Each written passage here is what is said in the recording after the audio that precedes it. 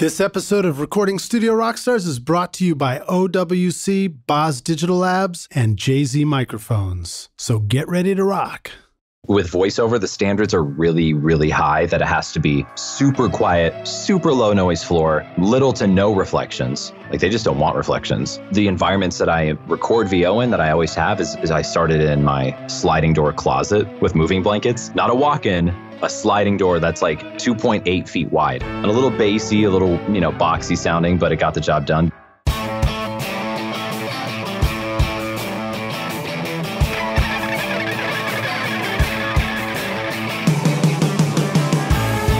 Welcome to Recording Studio Rockstars. I'm Lij Shaw, and this is the podcast created to help you become a rock star of the recording studio.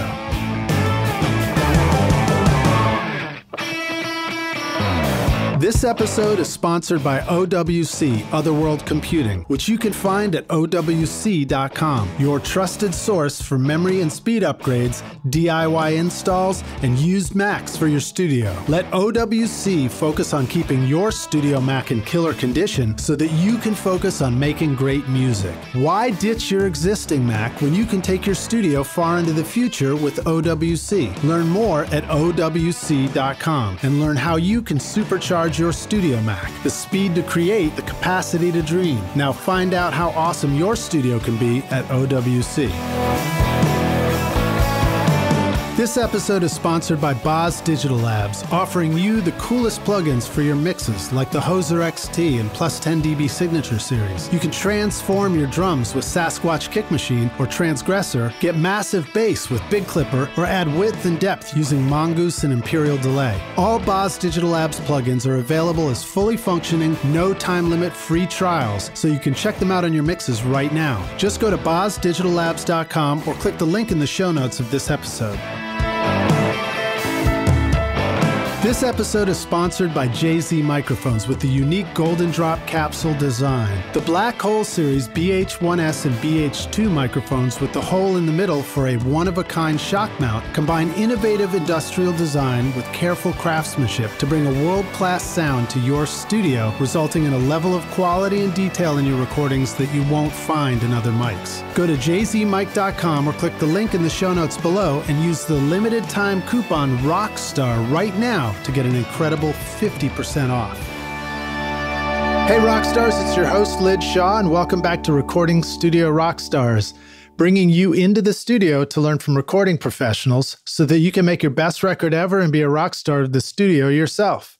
My guest today is Jordan Reynolds, an established voice actor and in demand progressive voiceover demo reel and audio producer in Los Angeles. His voice has been heard all over the world, voicing internationally known companies such as Lego, Audi, Sprite, and Cisco, to voice dubbing and impersonating celebrities, to screaming in video games such as World of Warcraft, to voicing villains in Netflix anime series. He directs and records voice talent both in his professional home studio or from their home studio online when he then mixes and produces personalized demo reels with music and sound effects. He's a frequent speaker on the topic of demos, audio, and voiceover at some of the largest voiceover conferences in the industry. And he has also played a key role in designing the very first high quality microphone made specifically for voiceover, and that is the Roswell Pro Audio RAVO. And Rockstars, you may remember that I have a lot of wonderful things to say about Roswell Pro Audio, who have been a wonderful sponsor on the podcast in the past as well. So, this is a slight detour from our usual talk of making records, um, music records in the studio. But I find that there's a ton to learn from recording voice in the studio as well. And in fact, I have paid many a bill to keep my studio afloat in the past by learning to record voice as well as spoken word, voiceover, and podcasting. So please welcome Jordan Reynolds to Recording Studio Rockstars. Jordan, are you ready to rock, dude? Let's rock! Nicely done. you knew that was coming, right? Um, Let's hey, do it. So, so, first question, man, how many rock stars have you have you had to uh, do the voice of in your career? what do you mean? Like, how many times have I had the opportunity to do that stupid voice? Any, yeah, any of them. Anything that sounds like uh, somebody who's in a rock band, or have you actually impersonated real musicians in their voices? You know, I've definitely auditioned to to voice match some musician celebrities. I can't think of any that come to mind. Maybe how about John Lennon and Paul McCartney? Can you do those? Yeah, we'll see. Uh, well, Paul McCartney. Uh, is everything's kind of up here. I have to kind of channel into it. Uh, but yeah, John Lennon, he's a lot easier. Uh, he's uh, where's they from? I'm from Liverpool. Liverpool. Everything just kind of yeah goes around here. You know, I I made lots of records, and uh, I'm very very popular in the rock uh, music genre. That's a pretty bad John Lennon. It's but, all right, man. It was really an unfair. You know, it's like I, I had no idea this was coming, Lij. Exactly. So. Impersonating somebody is all about matching, and we're going to talk about that too. Matching a voice, and it's not fair for me to just throw one out at you without having the reference, right? Actually, it's like mixing records. You need a reference track if you really want to do a killer mix. Exactly. Exactly. Well, um, well, give us an introduction to who you are. I mean, uh, again, um, I preface this by saying that this is a, a, little bit of a departure from music, but I, I find recording voices fascinating, and it's um, I'm intrigued by the challenges of just creating a great recording. And I mean, the, yeah. without the voice, I mean, we don't have much for music to listen to unless we're just doing instrumental jazz. Or some super avant-garde stuff, right? Right. Um, well, yeah. Uh, I mean, just to give a basic timeline, uh, you know, I come from a, a big family, six kids, and pretty much everyone is creative or musical in some way or another.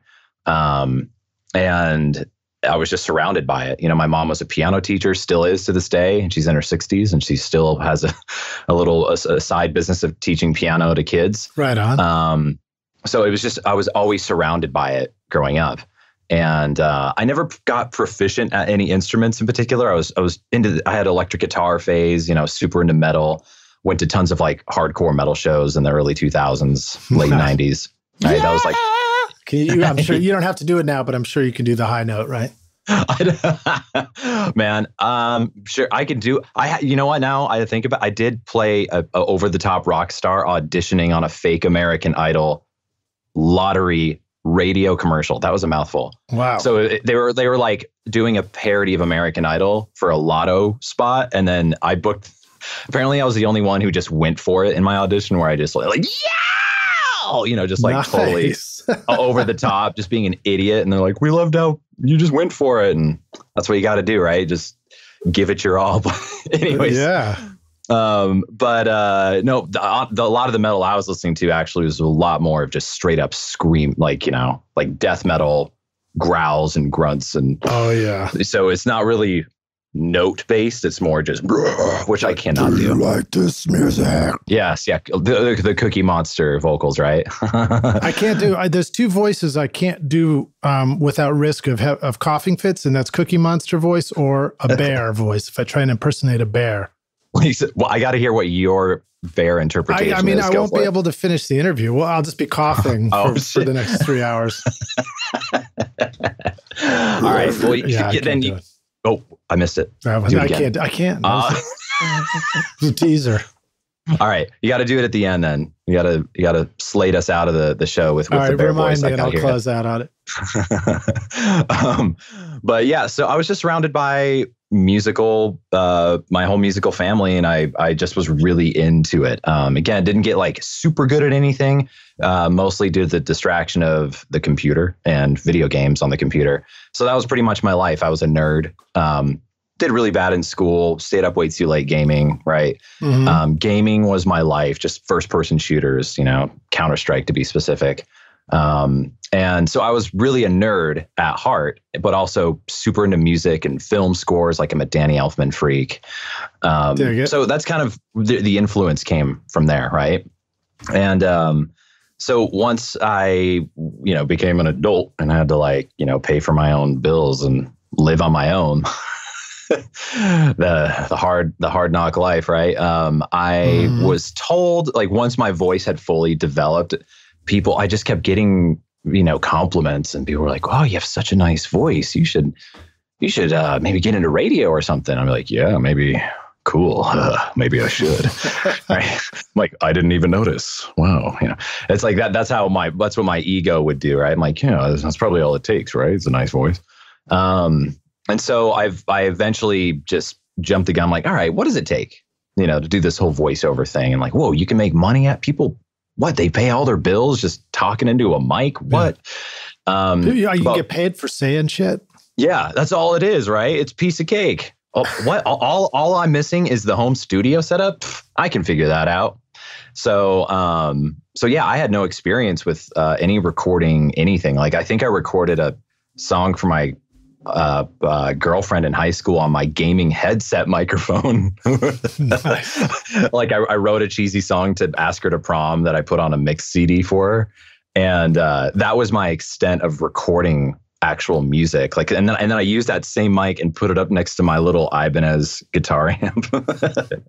now, is this a girl that you met in person or one that you met only in online gaming that turned oh, out to be a middle aged dude or something? that's, that's a legit. No, I wasn't on Catfish. Thank God. That would have been, a, that would have been about have some serious PTSD from that. No, I've never even heard of catfish, but I get it already. I, I think I think that's the name of the show, or at least the term is called catfishing, where you totally fake who you are, and then oh, once man. you, it, it's an MTV show. I don't know if it's still running, but it was pretty popular for a while. but no, no, we the, we were high we were in high school. Uh, I had seen her face. She she appeared to be womanly to me.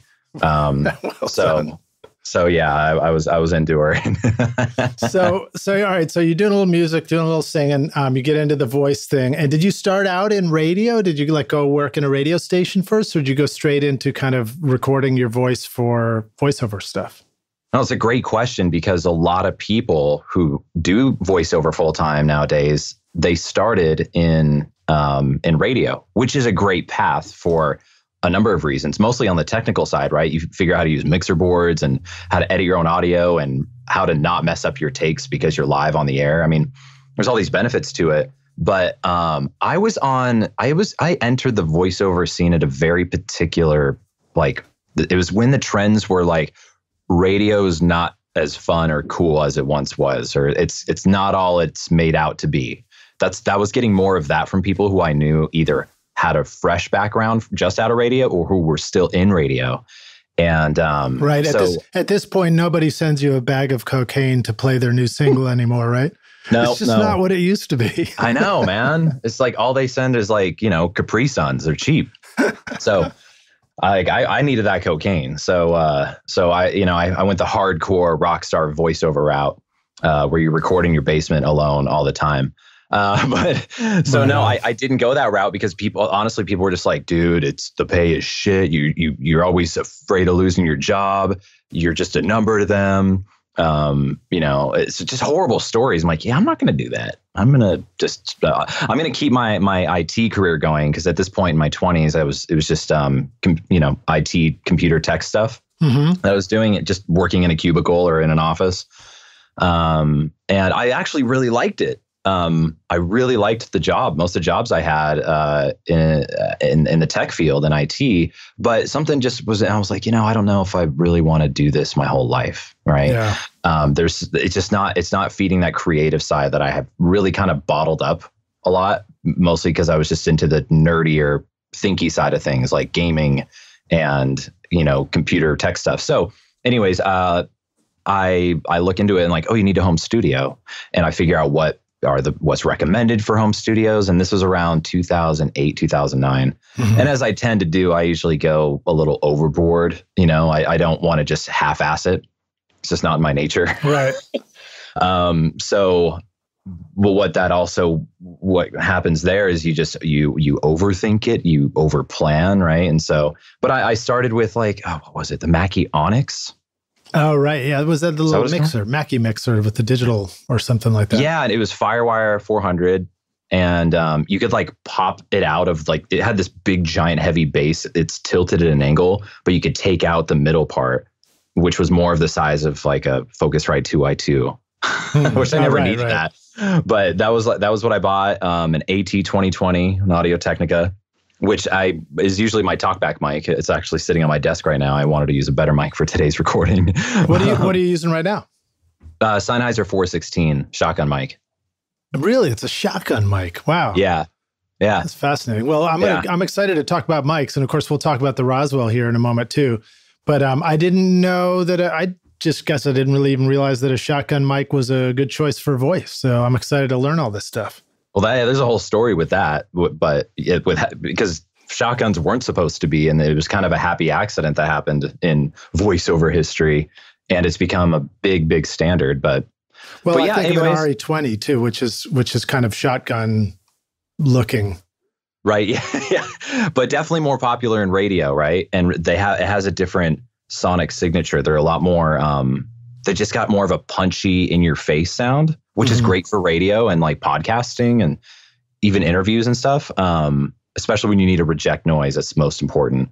But when it comes to commercials or dialogue or character stuff or trailer, you know, all these different genres of voiceover, they most of them prefer a more natural, open sound, which is why condenser mics are highly more used for voiceover than dynamic. Yeah. So, yeah, well, I mean, I guess I've discovered a few things myself trying to do this. So, for example, I've done voiceover or spoken word where I go record kids in schools, and it's a terrible environment. Um, and I tried the very first one I did. Um, I, I, had a couple of interns with me too, and we like took all this complicated stuff with us and I, I swear, I, I, kid you not, I brought my Neumann U67 vintage microphone to a high school and oh set it up. god! And it was? The, it was terrible sounding. It was just such a mess, and like it was sounded. You heard so much crap in the background, and like you couldn't get the right mid range out of it and stuff. It was really funny. And now I've learned. I just take like. Um, I have a Miktek PM9, which is a dynamic mic, kind of an SM58 uh, style and I'll just record that straight in, and then it's all about the plugins later. That's how I get it yep. all quiet and everything. Yep. But um, awesome. So so shotgun mic is a cool choice. Yeah, just keep going, man. There's so many questions. I don't want to interrupt, but I'll probably have a million questions as we go. You know. Oh no, you're no me, no, you're fine, man. Um, yeah, I get. Let me just wrap up. I guess how I got to you know doing it. This is the voice and more of what you guys would be interested. Your audience would be interested in, which is the tech side of things in the voiceover genre. Yeah. Um, but yeah, essentially with the I I I picked up the the audio side of things real quick because I was already, you know, I was already very nerdy and tech minded, right? So and I had I knew I had a good ear from, you know, it was just coming from a musical family. So it's not like I knew how to use everything, right? But you know, figuring out editing and voiceover is a lot more simple than music, right? So uh, it's you know it's mono, it's one track. You know, mm-hmm. uh, there's not a lot of moving parts compared to recording a drum kit, for example.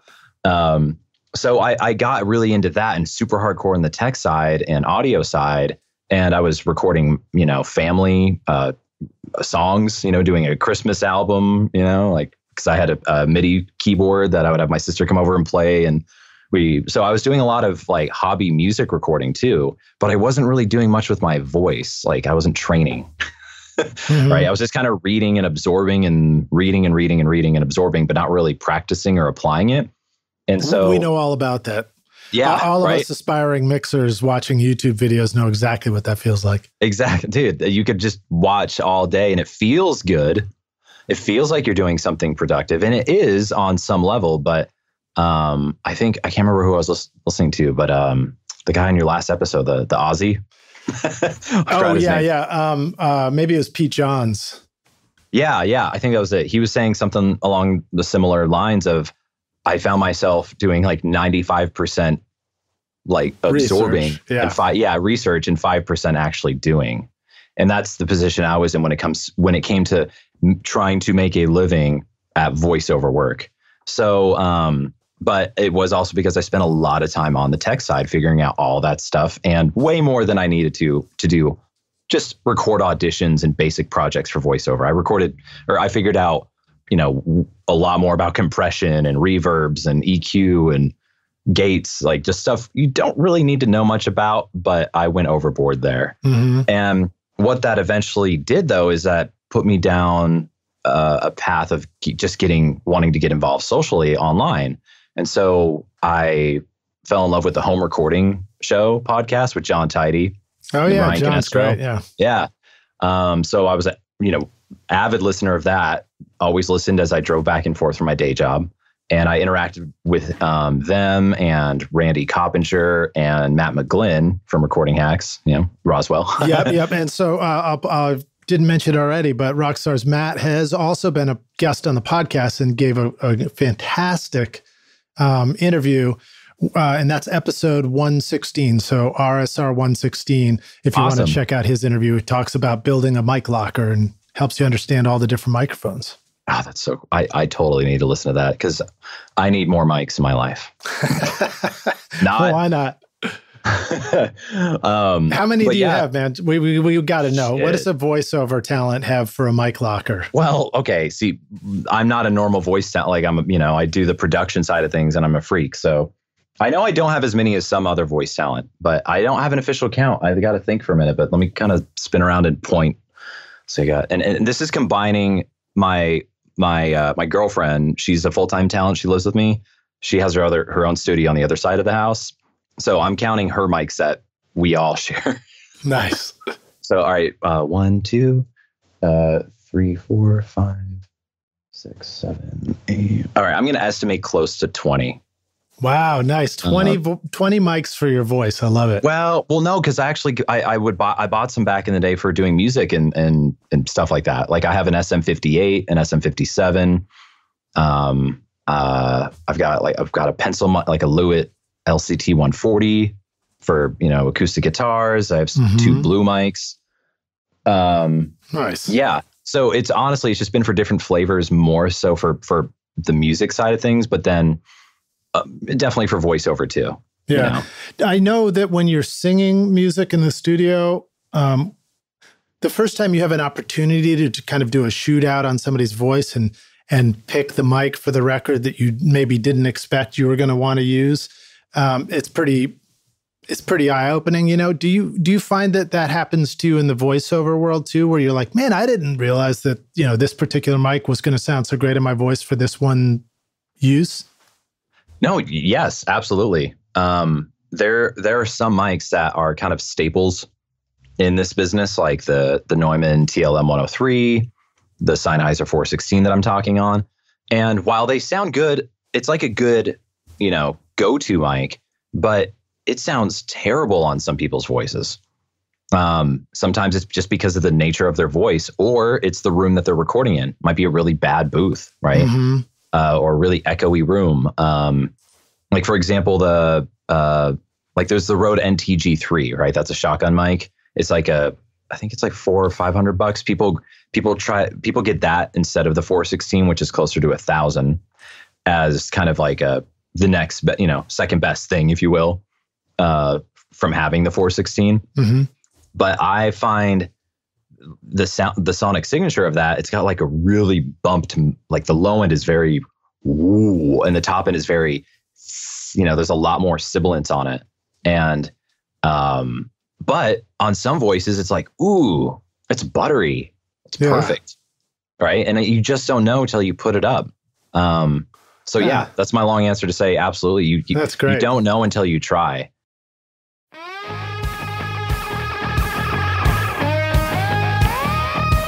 This show is sponsored by Recording Studio Rockstars Academy, where you can go to take your recording, mixing, and mastering to the next level. And you can start right now with my free introduction to mixing course, Mix Master Bundle. This course will show you how to get pro sounding mixes from your home studio with free and stock plugins in Pro Tools. And the best part is that these mixing techniques will work for you in any DAW, whether you are in Logic, Cubase, PreSonus Studio One, Reaper, or anything you can think of. Are you ready to make your best record ever? Then go to Mix mixmasterbundle.com to get started for free now or look for the clickable link in the show notes of this episode. Um, okay, cool. Well, uh, keep keep going. So you you um, I feel like I keep cutting you off with questions about this stuff. no, no, you're fine. but no, you're in LA now, and, and, you've been uh, doing this for for a while out there. Tell us about your studio. I mean, what did you end up creating for an environment for you to be able to do what you do? So um, I moved to LA in almost, uh, let's see, two years ago this month. So I built my VO career and demo business in Denver. Uh, it's where I was raised, but I uh, m- pretty much all most of my demos I did there that I was producing for other talent were done remotely. And since I've moved here, most of them people come into my studio, um, which is great. I always prefer that just because I one I have control over the audio. yeah. Um, uh, but two, it's just you just there's nothing like having that face to face, you know, rapport. Um, so you, you're asking what my current setup is today? Yeah, yeah. Tell us about your studio. It's really simple, man. Um, because I, you know, I got into this more in the digital age, right? So I haven't, while I've wanted a lot of gear, I've been, I've been really good at not getting too much stuff, even though I really want it, and I rely more. I, I, I put more of my money into really good quality plugins. But um, right, right, and then and just just for clarity's sake, you said that what we're interviewing you on today is not your normal VO rig. You're using something simpler, so you don't have to be in the in the booth the entire time because yeah. that feels a little bit like work. Yeah, exactly. I, I, wanted to be able to, to kind of chill and hang out, put, kick my feet up at my desk. So right now, um, I'm just sitting at my uh, my control room desk, and it's I forget what brand it is. It's, you can get it. I think it's like Sound something, but it's perfect. It's, it's got it's got two 6U racks, which I'm very underutilizing. I've just got a Furman power conditioner, mm-hmm. and I have two RME Fireface UFXs. Okay. Um, and the only reason I have two is one is a backup. Like one I had for years, and it started like the light started flickering weird, and like I'm yeah. like, okay, either I'm either a UFO is is invading or I or it's going out and I don't I can't risk that dying in the middle of a very expensive session, you know. Yeah, well, um, uh, one of the interesting things about keeping a simple studio is it's a lot more affordable to have a duplicate backup for everything you need just in case you need it, which you might. Yeah. In yep. any studio situation. And then uh, you said the mic that you're using now is the Audio Technica or it's the Sennheiser? No, what I'm talking to in right now is the Sennheiser 416. Okay, okay. Or M- MKH 416 is the exact model. okay, cool, cool. Well, it sounds great, um, man. Yeah, no, it actually sounds, the room sounds really good out here. I've got a lot of acoustic treatment out here. So I've got like a, I've got a four inch trap hanging above me and then a six inch trap wedged on the corner and four inch traps on the corners. I'm sure you'll have pictures, or you, can go to my website and see pictures. But yeah, well, we'll, uh, we'll try and put those in the blog post as well. Um, what what do you like? What are some lessons you've learned about treating a room properly for voice and knowing that it's not enough or that it's too much treatment? It's a great question. See, all the voice recording I've done has been n- n- never at my in in my control room, even though I can get away with it. Like if it, if I didn't have cars driving by and stuff like that outside that where it was audible. Mm-hmm. I could record here if I got, you know, a bit tighter on the mic like this. You're not going to hear because you can hear a little bit of reflection in the room, but it's not too bad. Um, yeah, when you're but, when you're closer, I don't hear it, but when you're back off and doing normal, I hear just the tiniest bit. And it sounds quite nice too. Yeah, it, right. Like right here is kind of a nice distance, right? It's more present.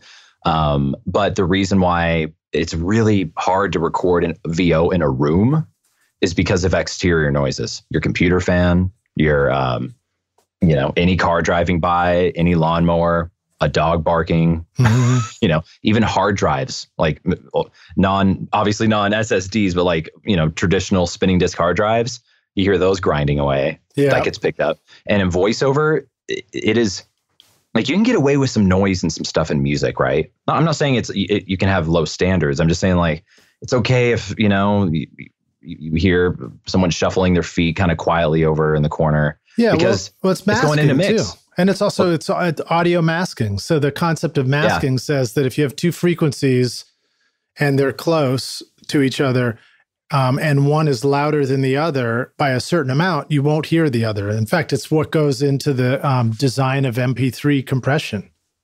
Oh wow, I didn't know that. Yeah, MP3s the compression says if there are certain things in there and they're quiet beyond a certain level, well, then the human ear supposedly can't hear it. So we're just going to delete them. Oh, okay. Yeah. That's coming back to me now. I remember that's yeah, that's crazy. So so uh, to finish mm. that thought, in music there's a lot of information and so therefore a lot of noise might actually be masks where you're not even hearing it except right. for guess what rockstars? Those breaks where you hear too much effects or where all of a sudden it's like oh man i hear the click track bleeding through on the vocal mic uh, for yeah. that split second.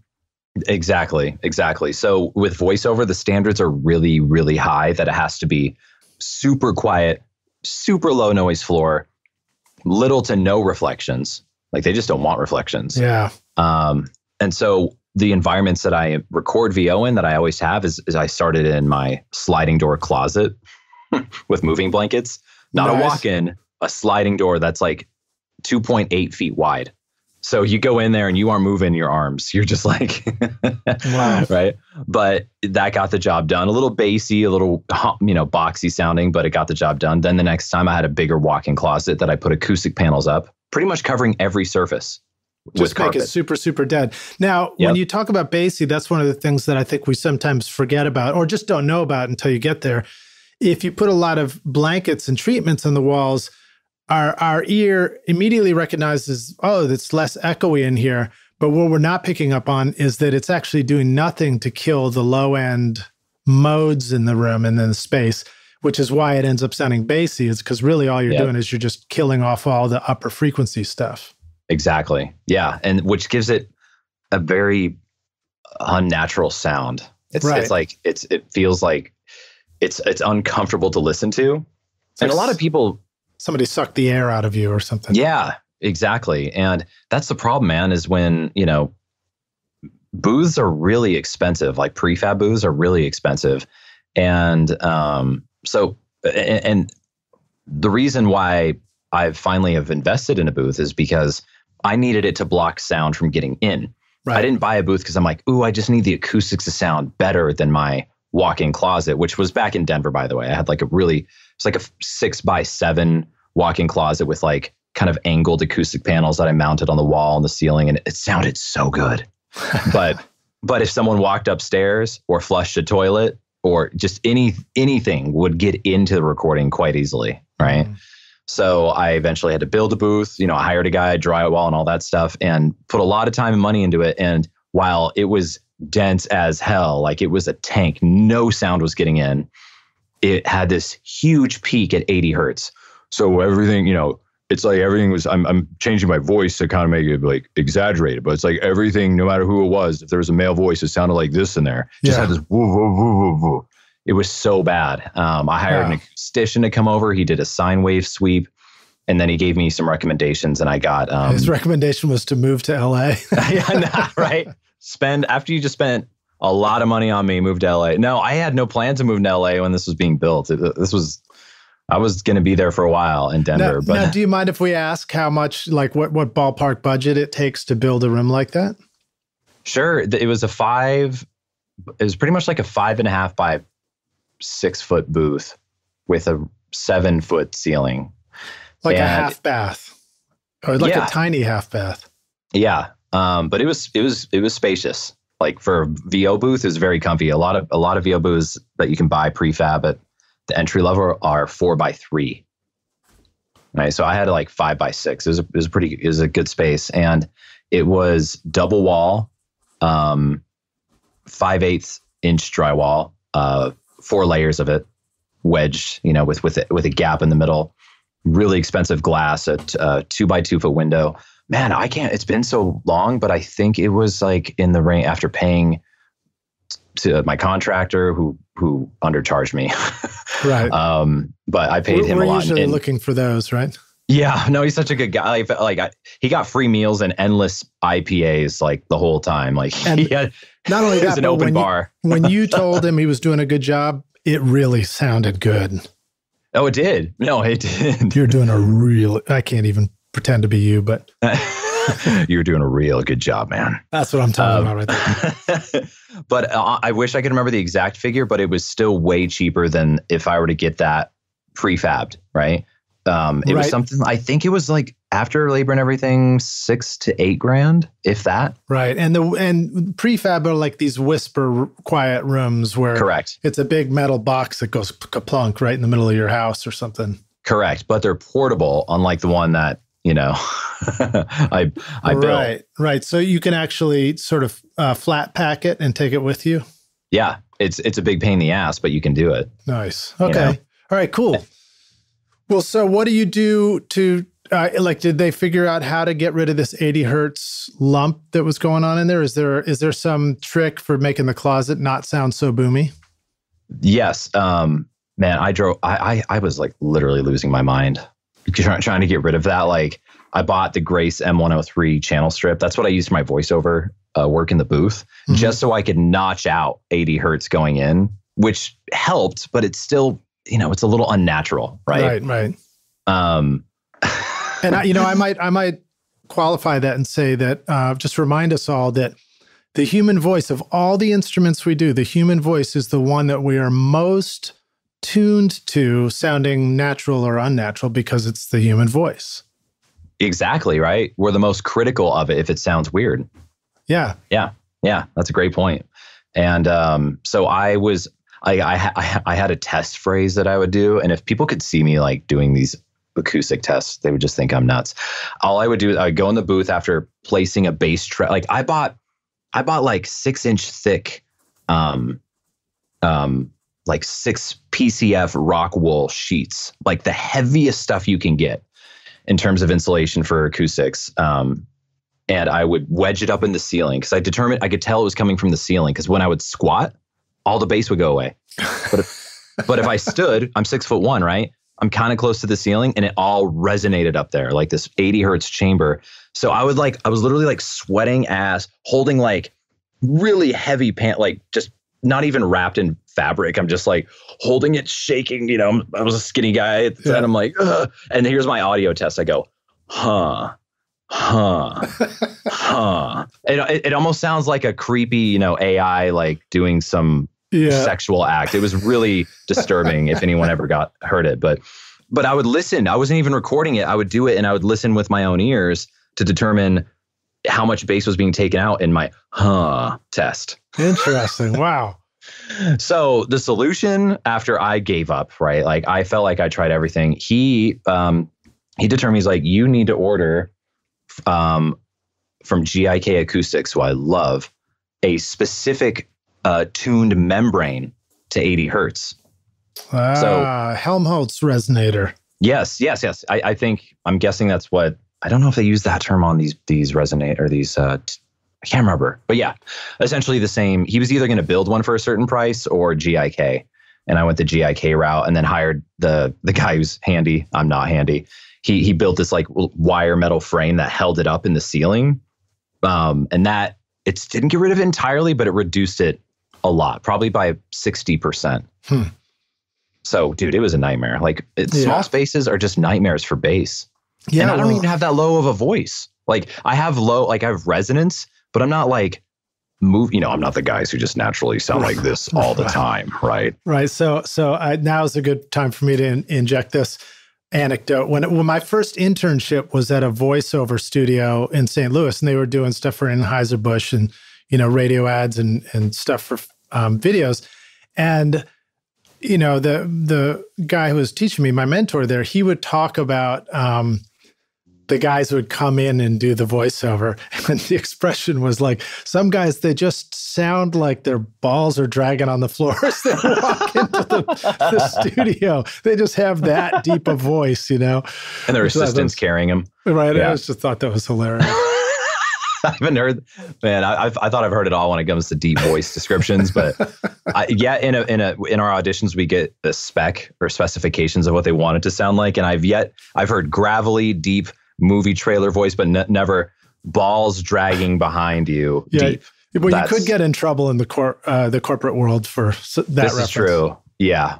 I don't know, man. I've I've seen some pretty offensive breakdowns and voiceover stuff. that's hilarious like just every, you name it you know no no no like straight up you know just horrible curse words but the, the what what was implied or intent like just racial stuff just Oh, terrible. I'm sure i'm sure. I'm like I probably wow. probably sometimes people don't even realize what they're doing when they that, do it, it. that is what it is all the time. Yeah it's, it's it's really just based on ignorance but anyways. Um, all right so so you built your own studio discovered all the challenges therein also discovered that trying to fix something that's not right like ultimately always leaves you feeling a little bit like it's just not quite you know? Uh, um, but then when you got this portable one tell us about that. Or because that's what you have now right? You have a prefab portable one or you don't?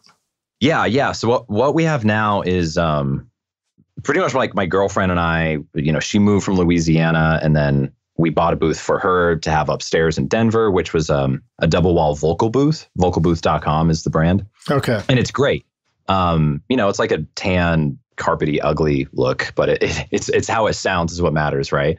So um, that's what she used. And then when we we when we left Denver, we abandoned my finally beautifully done booth in the basement and had it, had had to have it, you know pretty much demolished. Uh, you weren't uh, able to sell it to another voiceover talent.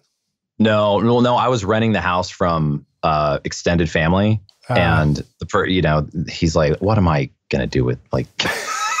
you know, I don't need this giant tank. Like, like what? It's essentially it's a panic room to me, right? right. He wasn't a jerk about it at all. Like, I, I, paid to have it demolished, right? I knew the risk I was taking building it there. yeah. I just wasn't planning to move to LA so quickly. But um, so anyways, we move here with the one vocal booth, the prefab, right? And we share it for about a year, and then um, she buys uh studio bricks, a yellow, beautiful, like the most beautiful booths you can buy, in my opinion Studio Bricks. It's a company based in Spain, mm-hmm. and it's essentially a giant Lego set.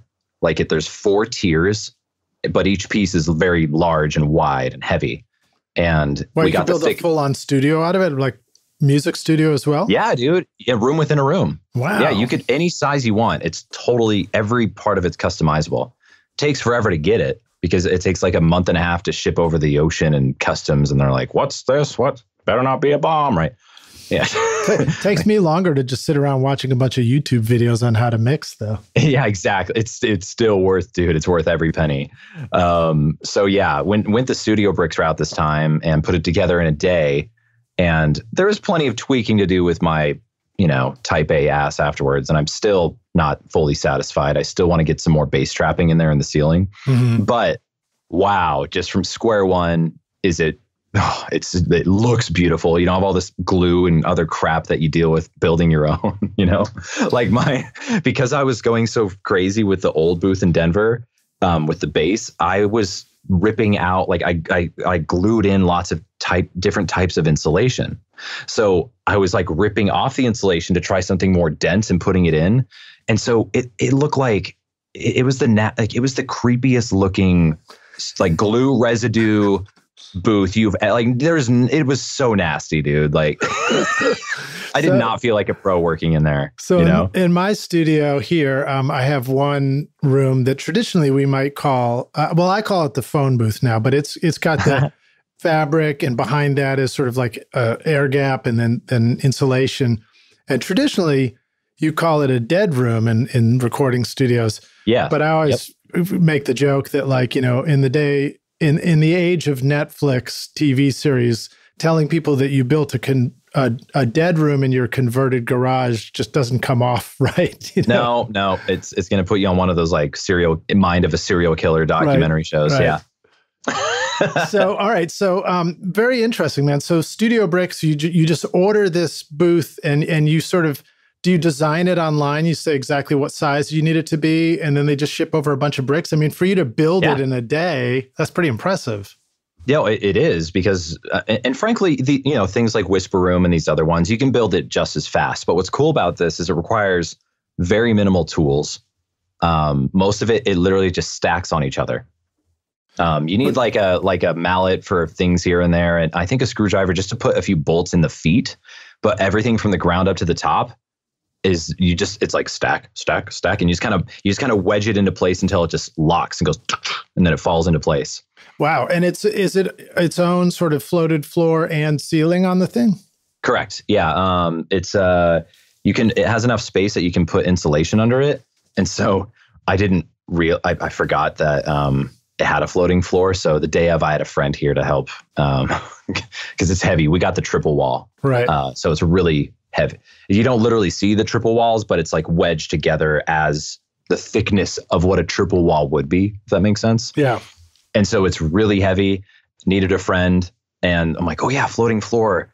Oh, I could put insulation under it, right? Just to prevent even more vibrations from coming through. You know, we're in a house that's on a there's an air gap below our house in mm-hmm. California, and there's cars driving by all the time. I'm like, oh, whatever. So I drive to Lowe's and um, I get the 5.25 inch thick uh, um, Roxul, or right. Safe and Sound, I think.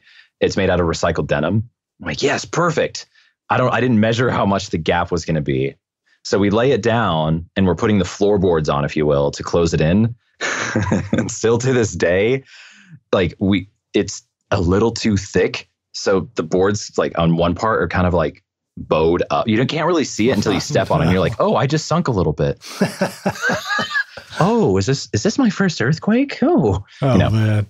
Uh, so that was, you know, it, it, that was pretty funny. But other than that, um, everything is went together beautifully. And I don't even remember what your question was at this well, point. Well, so so you build this thing Oh, out of the day, bricks, and then um and then once it's built, then you sort of treat the inside to your own design, or does it come with the treatments and everything too? See, that's what's so cool about it is you can. It, th- most people buy it with the treatment that comes with it, and um, it's essentially it's a two inch foam, and by default, their model comes with. Um, think of it as like a layer A, B, C, and D. A being the lowest tier, you know, like your ankles, Mhm. and then B knees and waist, C so right so forth. D being your head.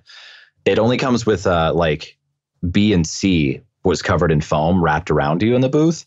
I and the ceiling had uh, foam on it, Mhm. but that that was going to be too live for me because we already had a. if you hear my cat meowing, Oh, yeah, it's all right. It's all right. Your cat does your your cat doesn't get its own VO Uh, booth.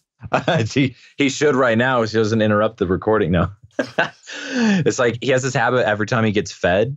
He then goes down to like the hallways, the studios, and he's just like, "Meow, I want more. I want more." So, rock stars, we're going to remind you one more time that um, Jordan is not in the booth as we talk about the booth. This is just out in the control room. So, Yeah. in case anybody Yeah. just- they're like, "Wait a minute, what's this fancy booth?" I hear thought he was a pro. Yeah.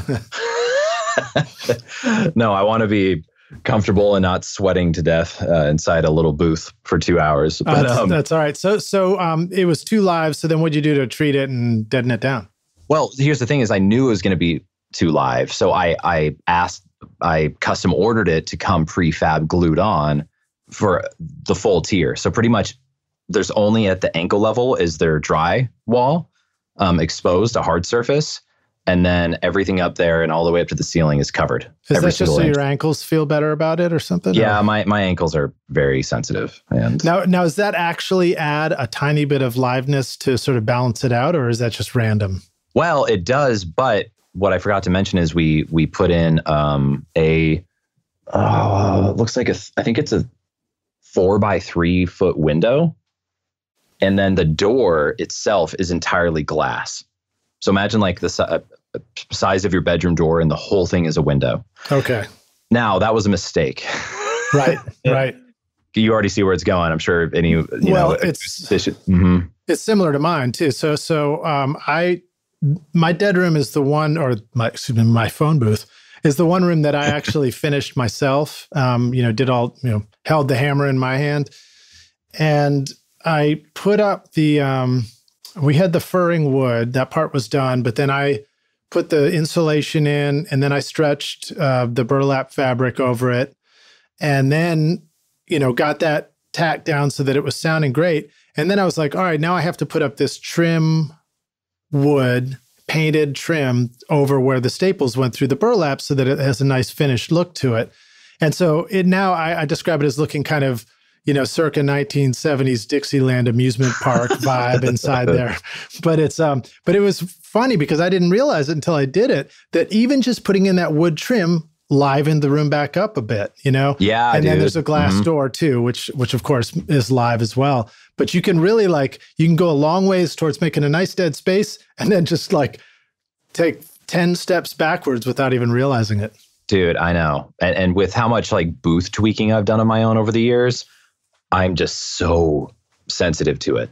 Um, and I, w- it's a good thing at the end of the day, but it's also a bad thing because it, it, will, it distracts from my performance. Right. Mm-hmm. Um, so yeah, when we got it, uh, we wanted the, the, the glass door because it's sexy, right? But by default, this model doesn't come. It comes with uh just a solid core door, and that's for acoustical reasons too. Because what happens? You have a the, the booth we have right now is a five by five, and one you have a glass surface on one side, and then you have another larger glass surface, not perpendicular, not parallel, but perpendicular.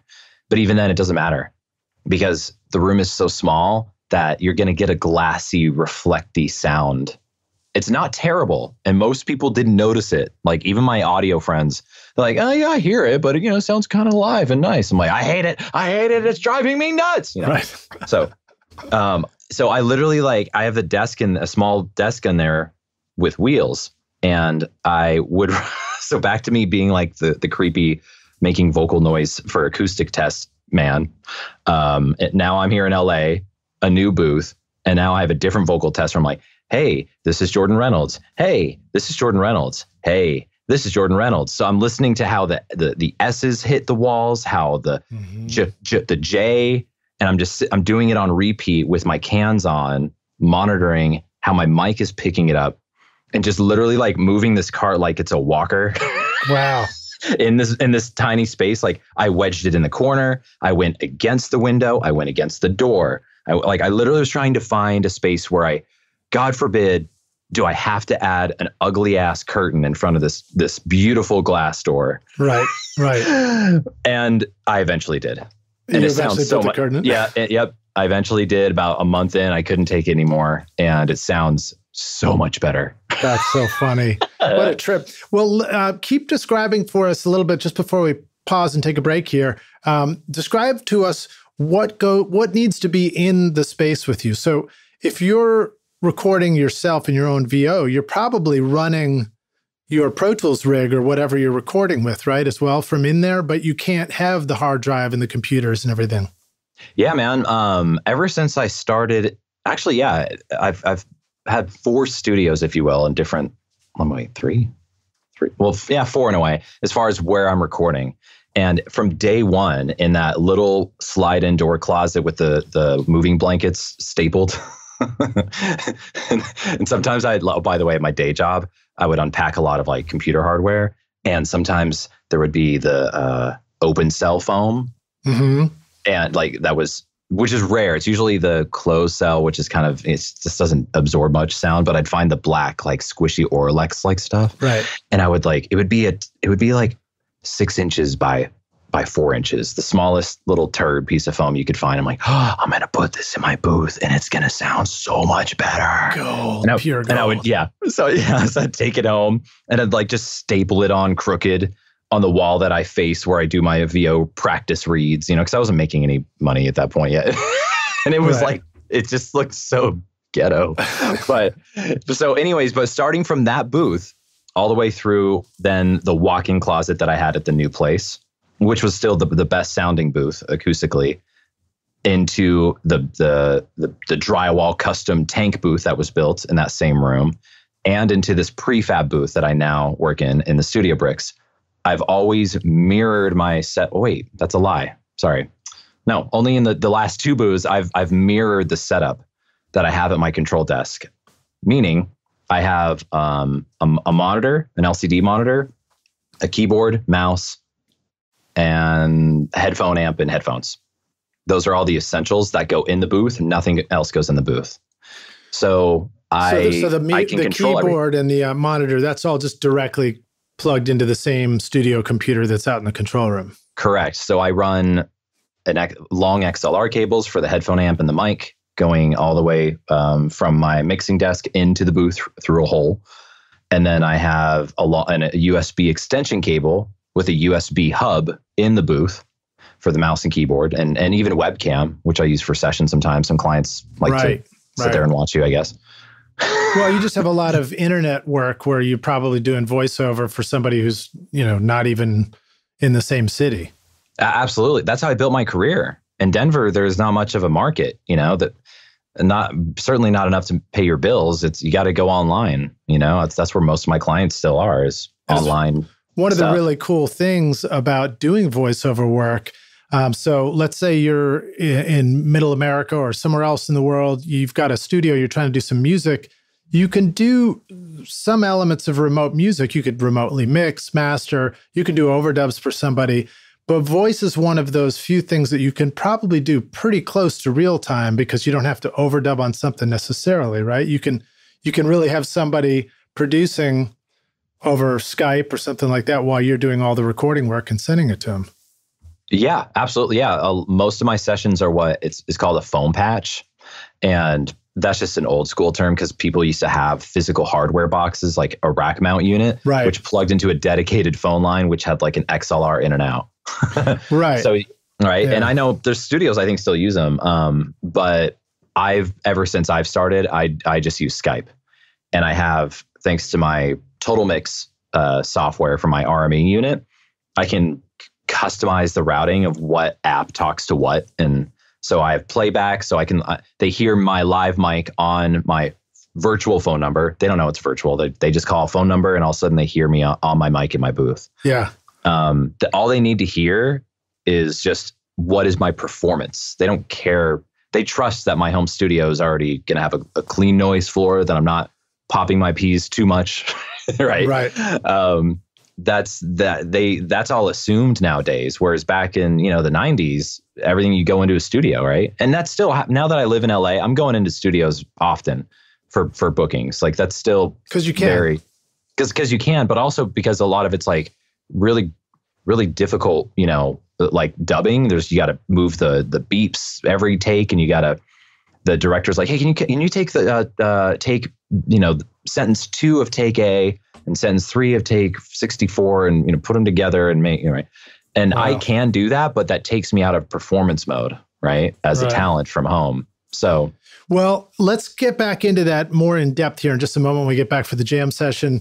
Um, but we'll take a break for just a moment. Rockstars a reminder that you can find links to what we're talking about in the show notes, including a YouTube playlist with a bunch of um, Jordan's demo reels, and you know, just hear him doing all these great voices and some uh, video games where you're the voice of different characters who are usually dressed in like leather and chaps and carrying a staff or a giant sword and that sort of thing, right? If only uh, those chaps were assless. well, you know, in the video game world, anything anything's possible. But um, we'll see you guys in just a minute for the jam session.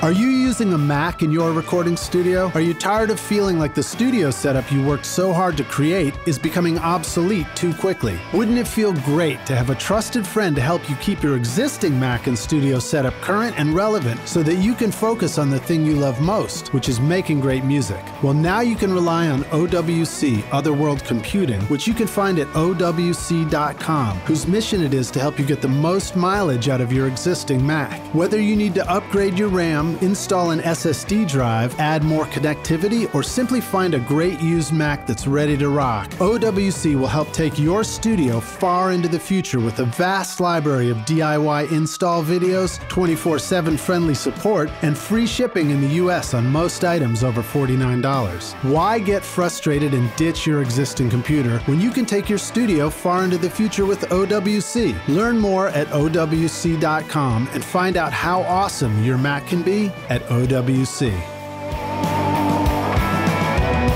If you want to design and build a great house, then you're going to need great tools. You could build it with an old hammer and some nails, but it's a whole lot easier to use an air compressor and a nail gun. Well, the same thing goes for mixing. If you really want to create a pro sounding mix, then it makes a lot of sense to start with a great toolbox of awesome plugins. This is where Boz Digital Labs comes in to help you get killer mixes easily, quickly, and creatively. Provocative will make your vocals sound lush and wide. Transgressor and Manic Compressor can help your drums leap out of the speakers. Gady Weighty and Big Beautiful Door offer unique new ways to tighten up your tracks, while The Wall will make sure your mixes are in your face and competitive. And my favorite is Sasquatch Kick Machine, which can transform your kick drum from sounding like a home studio cardboard box into the perfect punchy kick without using samples or triggers. To download your unlimited trial of any plugin now or get one of Boz's free plugins, go to bozdigitallabs.com and put the best in your mixing toolbox. Click the link below in the show notes to learn more. If you want to capture every nuance of a great performance in your studio, then you need to start with a microphone that is crafted with great care and attention to detail. JZ Mics in Riga, Latvia designs amazing sounding microphones that are handcrafted with jeweler's precision to bring you incredible detail in your recordings. At the heart of JZ microphones is the unique golden drop capsule design, which uses a lighter, faster diaphragm that delivers great clarity and fidelity while avoiding distracting coloration saturations and distortions. Make sure to check out the Black Hole series BH1S and BH2 with the awesome looking hole in the middle of the mic, combining innovative industrial design with meticulous electrical engineering to help your studio sound incredibly expensive for an affordable price. JZ offers a five year warranty, free shipping to the US, and 30 day money back guarantee. Plus, for a limited time, if you use the coupon ROCKSTAR, you will get an astonishing 50% off. I got one. You're hearing my voice right now on the BH1S. So what are you waiting for, rock stars? Go to jzmic.com or click the link in the show notes below. Jordan, you ready to rock? Yeah. All right, sweet, man. I guess I asked you that first time. I'm supposed to say, Jordan, are you ready to jam? I'm ready to jam now that I've rocked. All right, hot diggity. Um, let's talk about your experience developing a mic for voiceover. Cool. Let's do it.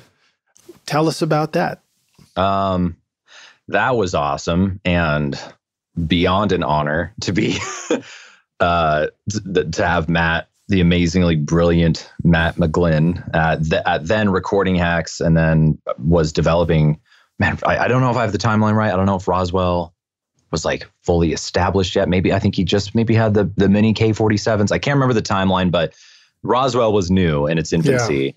And um, he wanted to design a mic specifically for voiceover, you know, just just because and there's a lot of VO mics or mics that are used for VO out there, but they all have their pros and cons. And, and a common complaint, um, especially for Matt, uh, but plenty of audio engineers you hear in this town is that is is sibilance is and a, a lot of low end tends to be kind of an issue, and they just want kind of a clean, pure, just straightforward, present sound that isn't too punchy like a radio dynamic mic, but isn't too uh, bright and crispy like you know a Sony C8000, you know, or, you know, Right. or you know, like they don't need or like a C12. Like we don't need something super crispy. This is we're not making a pop record.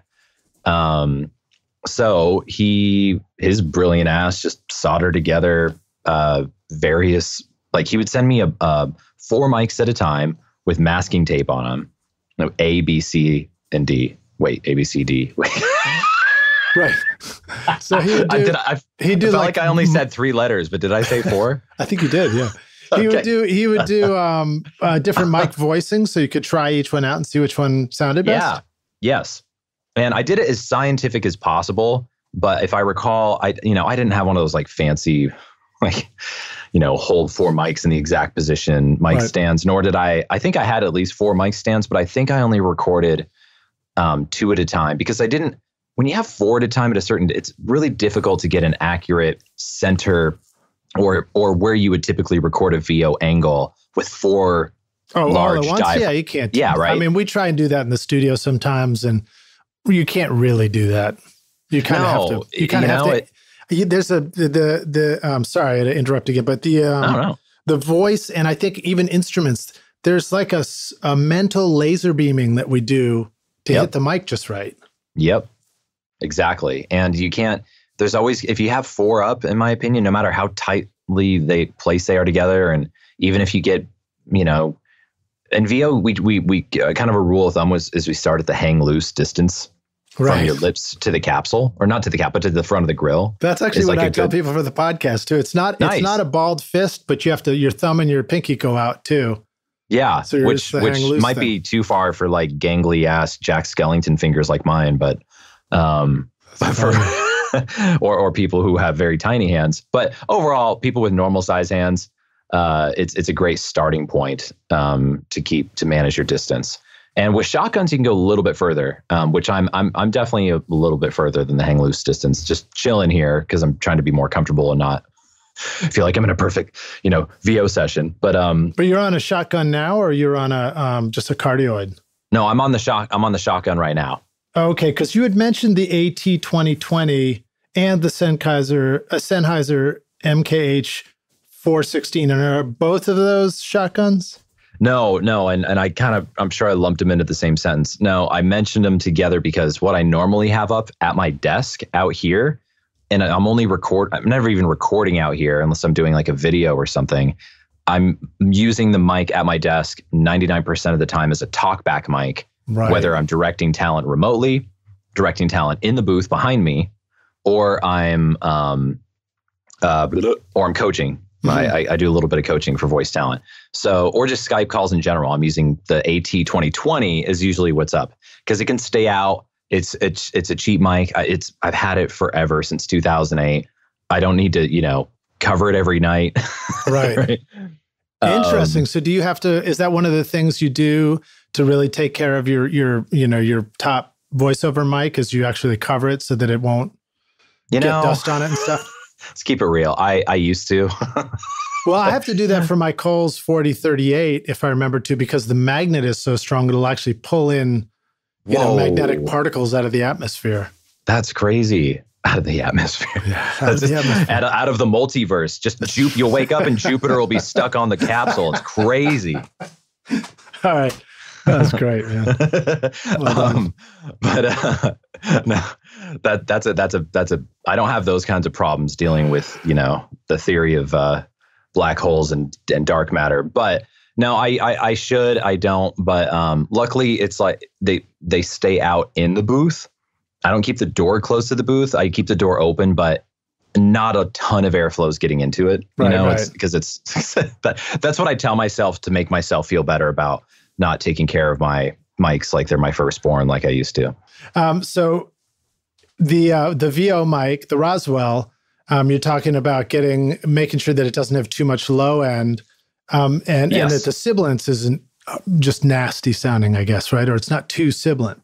Correct. And it's it's really hard to find that balance because remember everyone's voice varies. But female voices in particular, um, they I don't know what it is. I, I'm not a you know speech language pathologist, but there's something about the female voice where most of the time, if you compare a female voice to a male voice, their their sibilance is just it's harsher. It's more it's it's louder. It's more apparent. It's more focused. Mm-hmm. It's it's sharper. I mean, now that's pretty much all saying the same thing, but all of those, you know, it, it, can be very difficult. There's only so much you can do with a mic that already has a boost in the top end, which a lot of mics already do. Like the TLM 103, for example, um, for female, and, and it varies in females as far as the sibilance, but but there are a lot that have a very sharp sibilance. Um, so much so you can hear it just with your own ear.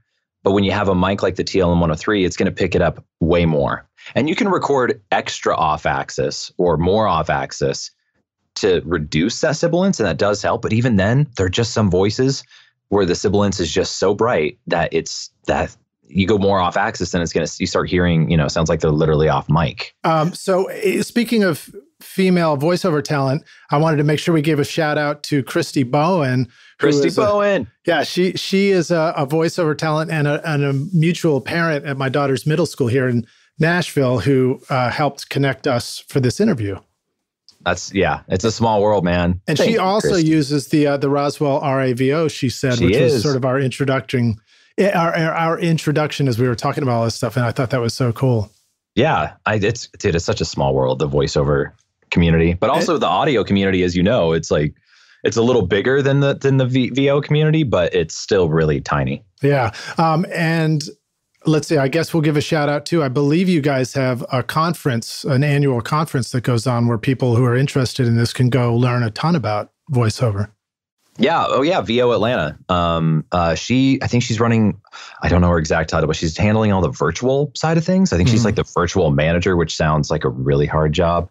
Um, I'm, I'm running a few breakout sessions and, and classes on voiceover demos on the do's and don'ts, how to find a reputable reputable producer, um, and what agents are looking for to get you signed. Um, so cool, I'll cool. be very busy. yeah, I bet. but I'm really stoked. I'm because there's so much bad information and frankly slimy people out there who will take your money for people aspiring voice talent, and I want to steer people clear of that stuff. All right. Well, let's jump right into some of the how-to stuff. So. Um, a hang 10 is a good distance from a vocal mic um, for for doing your voiceover. You don't really want a mic that is boosting a bunch of top and a bunch of bottom, um, but but sometimes we do want a voice to sound like it has the, your balls dragging on the floor. yeah, maybe not if you're a female voiceover talent, but how do you get that? How do we get do, that sound? Because I've I've tried to do voice before and it's like I'm listening to some radio comparison thing and I'm like, how in the world does it sound like that? So you're asking how do you get like a really clear, punchy, like like like like like a movie trailer sound? Yeah, okay. that huge deep low end sound. I mean, again, it very like there's no like, oh, I'll, you you make your compressor it's a six to one ratio, and you know, like I wish that there's no straightforward answer to that question. But what I generally do is, uh, uh you know, you can cut just just cut what you don't need in EQ first of all.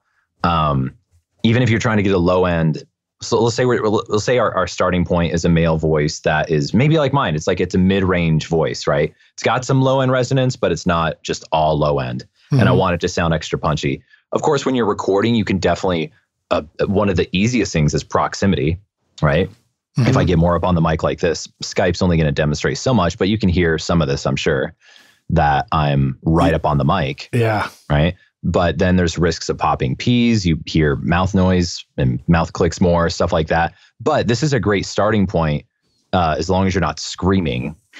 and it's just, you know, it's just really intense stuff and you can even talk quieter. So that's right, the really, you get the more the, gravel too when you do that. Exactly. That's the easiest thing from the get go is get it right at the source, man. Now, but, what what about popping peas? Do you use a pop filter like we do in the studio with, with singers, or do you have to yeah. train yourself to never have peas? Honestly, I I uh, uh, yes, I do use pop filters. Like on the 416 right now, I have the windscreen, you know, which is a pop filter in itself. Mm-hmm. Um, I pretty much always keep the windscreen on, um, even though it's ugly as hell and it doesn't look as cool, but it um but with the four six with shotgun mics you don't have to be you can go like you can you know they're meant for film sets right? So you can have it like pretty above you or at an angle and at a distance. In other words at a very safe distance to where your p's the air of your your plosives won't travel and hit the capsules easily even without a pop filter. So that's really the one of the few mics you can get away with um, a condenser wise is a shotgun mic without any sort of pop filter or windscreen if you place it right. Um, but most all, all my condenser mics, I I hate I hate the pop filters that they're just in your way, right? Like the traditional ring mesh right. filters that are like four inches, I think, in diameter. Like it's really difficult to to to do a, a stellar, authentic performance as a voice talent, and have literally what your right eye is looking through mesh. at, at this at the screen in front of you or the script or the copy stand with the script and then the left eye can see the script clearly. Dude or, in the words of the beastie boys men never rock the mic with the pantyhose. Yep there you go. That's that should be more popular in voiceover but yeah. But again this is this is my personal preference. No steadfast rule but um so to so that but again a pop filter never blocks all p's. You know this. Singers know this. Like um, so going at an angle, I, I, always do everything at a slight off axis angle, like a 45, if that degree, just super slight. Never, I'm never directly facing the mic. Mm-hmm. Um, never ever. So it's uh, like your laser beam is just off the mic. Yep. Yeah, I put the mic on the side, and so the viewpoint of my eyes and the talent's eyes that I'm miking can see straight ahead without something in their face the pop filters I do use are the uh, Wintec. Okay. Um, they're they're so cool. They uh, it's like it's it's I think it's a thin metal mesh screen, but it's it's it's a you know it's like a half of or it's like a C shape, and it's got little rubber bands, and you literally strap it over the mic basket. Okay. So, so it's, it's really discreet. Yeah, so it is closer. So P's get you know you don't have full control as far as how much air is traveling you know between your pop filter is uh, in the capsule, right? Because it's but again, combine that to to just get maybe some of the harsh P's just enough so they don't hit the capsule too hard, and mic off axis, you're going to be in good shape. Yeah. Um, now, what about S's and sibilants? How do you?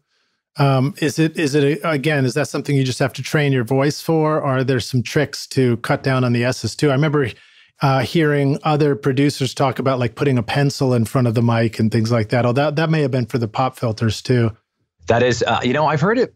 You know, I haven't heard the pencil for the S's. I don't think, but that would work because it's just essentially it's diminishing the amount of harsh air, if you will, that's hitting the capsule, right? Mm-hmm. That the that the capsule's sensitive to.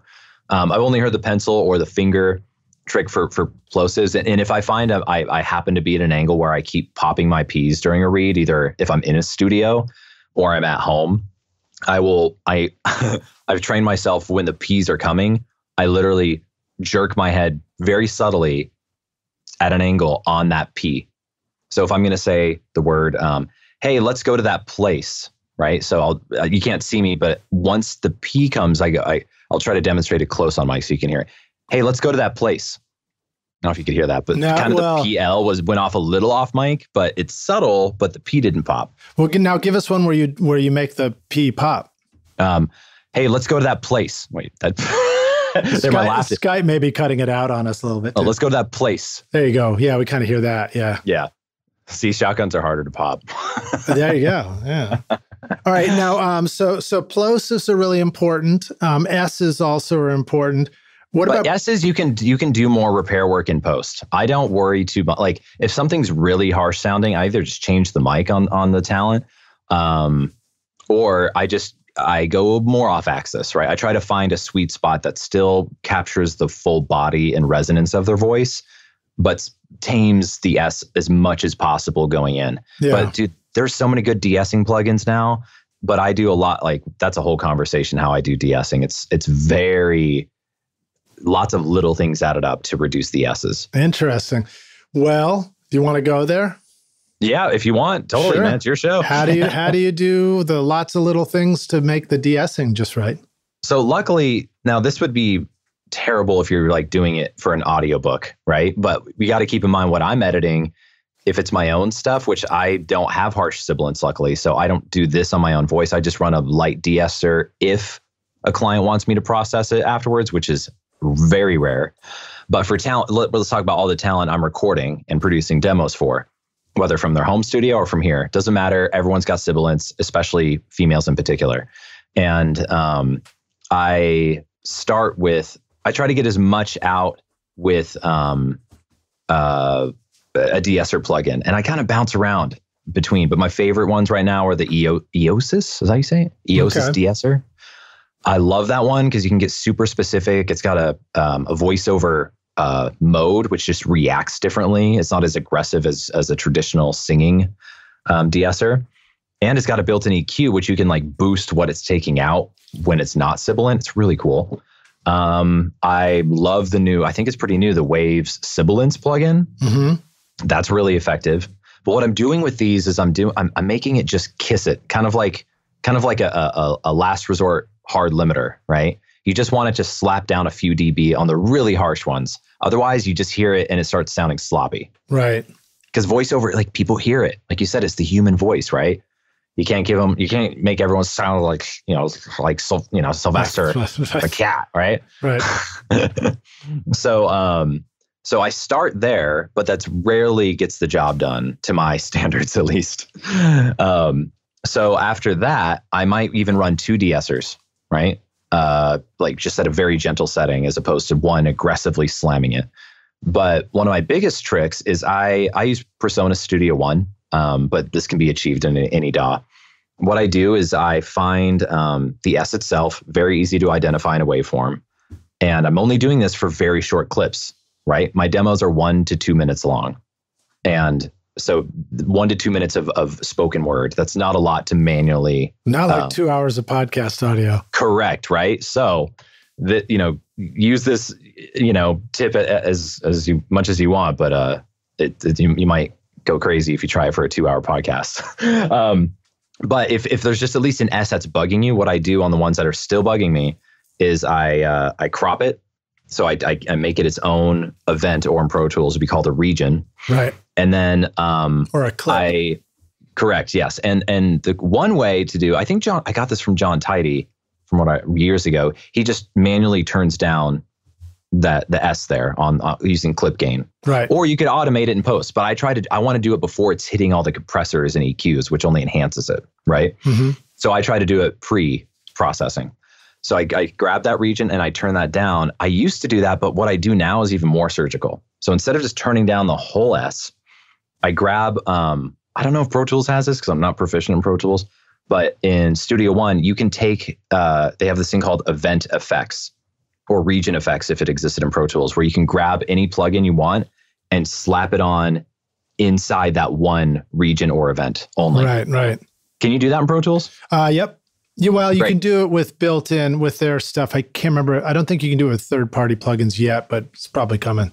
Okay, and that's fine. I, I, I use sometimes I use third party stuff for like pitch shifting and things like that on events, but most of the time I'm grabbing the built in EQ in Studio One. I drag it over, slap it on that 1S, and then I play it back. And you can I use the um, my ears as much as possible, but when it comes to just a, a quick S, it's much easier to see where it's where most of the buildup is happening on the parametric EQ. Right. Right. You see it building up, and, and everyone's different, man. Like some people, some women, it's like, whoa, 8K, it's getting crazy. And and some like I had this one girl, it was mostly harsh at like 12K. Wow, Which is that's really super high. high. Yeah. I'm always struggling with um, combinations. I find that like the six to seven seems to be a male S range that that needs some a little bit of love, but not too much. And then so, two to three K is where all the ch and sh Yeah, stuff is really harsh. And that's when you manually grab. Yeah, I have that too. There'll be some chuz and shuz that are all those chuz and shuz just All getting in the way. chus and shuz. but you, what you can do, man, is you can manually go grab where it's peaking and just just pull it down. Just just just just do a scoop right there. Yep. That's all I do. And sometimes, you know, it's it's six or to eight dB, and it's still totally intelligible, and it doesn't sound like a, it doesn't. You don't hear an a, something actively turning something down from a threshold perspective, right? So, so a couple of thoughts on that. One is that um, you can also do that. Uh, uh, some of the things that actually get lost in music is the K at the end or the D at the end of words. yeah, Um, people just forget to say them. They say these really, for some reason, people sing really strange English and they don't Yeah. realize it. But, I know. Well, yeah, like Brit, Brits in. sound American, right? right you can you can go in and just take that same that k find the k that's sort of missing in your track chop that out and boost the hell out of it and get it to just the level where you can hear it through the music which is kind of good but i was Yep. going to share an anecdote about my first internship at the voiceover place and the engineer i was working with he um at one point we were doing God, we were doing like a, a, a goodwill video i think it was and there was a um a kid on there who was talking who did have a lisp, you know, and Sure, just yeah. could, couldn't really speak very clearly. And so it wasn't clear enough. So so the engineer went into the control room. I went into the mic. oh no, I see where this is going. oh no, He just like made all these consonants and then he brought him in. He just flew him right in and then Oh brought out, God. Made it so that we could understand what the kid was saying. And um, oh my god, you know, a whole nother discussion to discuss, you know, what that uh, the the deeper meanings, sociological meanings of that. But I let let's just say I was we'll- very pass on that for impressed. Yeah, I was like, "That's cool, dude." Yeah, know no, you can. that. mm, that's that. That I have not done that. Um, I don't think I will do that for a talent, but but no, no. But again, it goes to show the power of the software and and your tools, right? Like Yeah. you can get real. I've gotten really creative. I can't think of anything in particular, but as far as just we call it making a Frankentake in voiceover, hmm we do it all the time. We record our auditions at home alone, and we want them to sound as good as possible. And you know, the caveat is you better be, if you if you record twenty takes and you take like the word the from that one, and then the word you know pie from this one, and the word beetle from this one, and you put and you put those all together into uh, which is the beetle sec- pie. yeah, yeah, build up beetle pie. I don't know where that came from, but uh, it's um, you better be able to reproduce that as a human, right, with your voice as opposed to how you edited it. Right. And um, and that's the challenge we face as, as talent, and also what I do in demo producing. Um, but at the end of the day, when you go into a, a, a commercial session as a voice talent, they'll record, you know, might be five takes, might be 30. And they will do the same thing. They'll take the first three words from take A and so, so forth and make what sounds the best to them, right? That, that's what happens because we have the power to do it. All right. So um, I remember seeing a video. It was a, I feel like it was a demo of something by Adobe where they were making this thing where they typed in words and and the computer generated the voice. It did a it mapped out the human voice and then they then it regenerated new words based on what was typed in. Is that something you've seen? Yeah, and yeah, no, that's not scary or anything. you know, it's not like how I make Sorry. a living. That's like, yeah, that's no, like asking a drummer, "Hey, man, have you heard of a drum machine?" what do you think of EZdrummer? Um, oh, yeah, man. no, dude, crazy that, shit. That shit, that shit is scary. Um, you're gonna take our jobs, machines, right? It's it's crazy. Um, I don't know a lot about it, uh, but I'm going to embrace it as much as possible. Voice packs, not, dude. Voice packs, just like sample yeah. packs. Yeah. Um, seriously, no, I'm not that familiar with it, but let me put it this way: um, voice talent are talking about it. I'll bet. I'll bet. We all have varying uh, degrees of fear, right? Well, uh, we're all still going to be tasked with making sure everything sounds great. So, right there we go. Let's see. That's why I got my. I, am I, I have my two skill sets. I have audio and voiceover, so I think I'll be safe. But um, in well, short, let me put it this way, man. It's going to be a long time before, if you want a convincing performance, right? Yeah, totally. Which is where the trend is.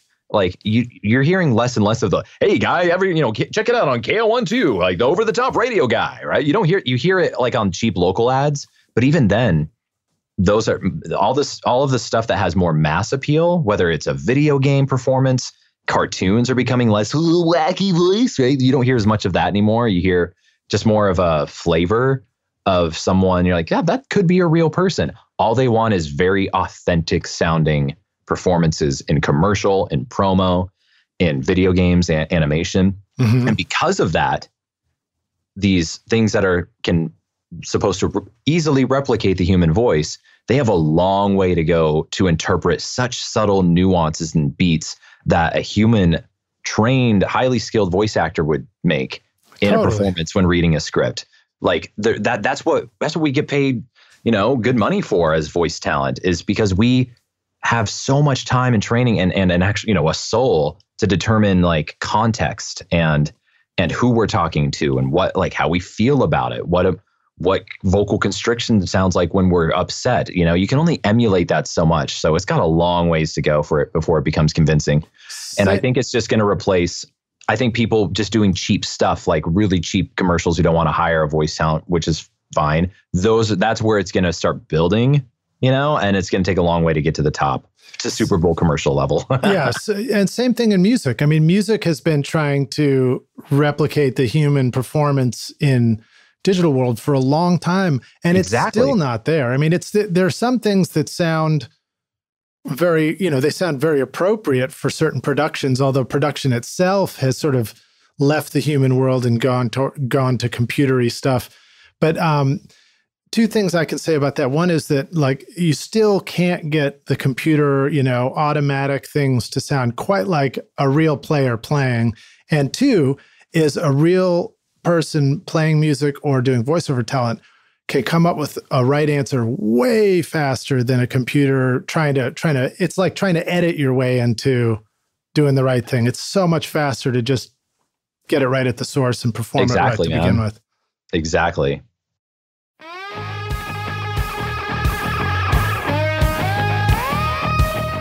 This show is sponsored by Recording Studio Rockstars Academy. Are you ready to take your recording, mixing, and mastering to the next level and make your best record ever? Then visit the Academy to find the course that's right for you. Want to record killer drums in your home studio? Then check out Rockstars of Drums to learn how to record, edit, and mix pro sounding drums with a professional Nashville session drummer in a Grammy winning studio. Or if you are ready to start mastering your own records at home, then check out Rockstars of Mastering, where I walk you through exactly exactly how I mastered my own record, Skadoosh, using nothing but plugins in PreSonus Studio One. These techniques would work for you in whichever DAW you are using right now. And if mixing is your focus, then check out my free course, Mix Master Bundle, where I show you how to mix using stock and free plugins in Pro Tools. Plus, you get a look at how I recorded everything in my studio and multi-track downloads to mix in your own studio and even include in your mixing portfolio if you want. Are you ready to make your best record ever? Then go to Mixmaster bundle.com to get started for free now and look for the clickable link in the show notes of this episode. Um, okay, cool. So I wanted to go back and ask you about the uh, how to get massive low end on your voice question one more time. so you, you said my understanding of what your answer was was start by EQing out the stuff you don't need and then you can start manipulating it. But what are some of the mixing tricks that help us get a voice to just have this big, massive low end? Like, should we be using subharmonic uh, filtery things, or is it just all EQ and compression? Do you just have to have somebody with that kind of voice to begin with? That's a really good question. Um, um, other than starting at the source and having a mic that already is more, fla- you know, favorable to the low end, and making sure your proximity right is as close as mm-hmm. possible mm-hmm. without it distorting or sounding like you're eating the mic, like eating it. Right. Um, uh, you, as you know, in audio, like if you pull out, for example, a good chunk of the mid range, everything will sound way brighter all of a sudden and way punchier in the low end, mm-hmm. right? You can do the same thing on a voice. You can't do as extreme of stuff without it sounding weird, but find where it's like the eh, eh, eh, the nasally. Like I'm making that. That's that's my 1K test, by the way, that right, I do in the booth because. I've got a 1K peak in my current booth with the, with the glass. So uh, that's my new one. Eh, eh, eh. I'm weird but that's what I do. That's great. Um, so, but you know, listen for where those where it's kind of where you're you're, you're kind of twitching a little bit from when the voice, you know, when, when it eh, has that part in the voice, pull some of that down quite a bit, and then just see how much like, ooh, it's more present down there. Then from there, you know, you can use he, the heavier the compression you do, the more the low end will come out. But I find I like to use compressors that are color. If you're really if you're going for that more punchy sound, which I don't do a lot of because it's just not as in demand anymore. They want it just to be present, clear, and and and rich and beautiful, but not Natural, like right. Yeah, right. So I I'm not I don't have like a formula for it, but if I have to exaggerate it, I'm going to use colored plugins. I'm going to use um, like tube preamp emulators and drive it just enough before it's distorting, mm-hmm. right? Because that tends to add like a nice thick, gooey sound to it. And and to, um, to put some context on this, we're talking about the monster truck rally voice here, right? Yes. Yeah. Yeah. Sunday, Sunday, Sunday. Right. Exactly. Um, but there's certain like don't don't use a stock compressor. You're not gonna you can get it, but it's like they're just clean. Like the, the FabFilter Pro C, uh, it's one of my favorite plugins because it's so transparent. Mm-hmm. But I would not I would never reach for that to get a punchy, deep uh, monster truck sound, I would grab something like the Waves H comp, right? Um, right, or the oh, what else? There's some some. Uh, let's see, the, the, the the the the the uh, oh McDSP uh, compressor, the um the the true what's it called? The tube, the tube moo, the cow, moo, the one that has a cow. it's like a cow thing on it. Was it the um, retro compressor? The 40, no, it's, it's the, com- it's the it's the ultimate compressor. Ultimate compressor, yeah.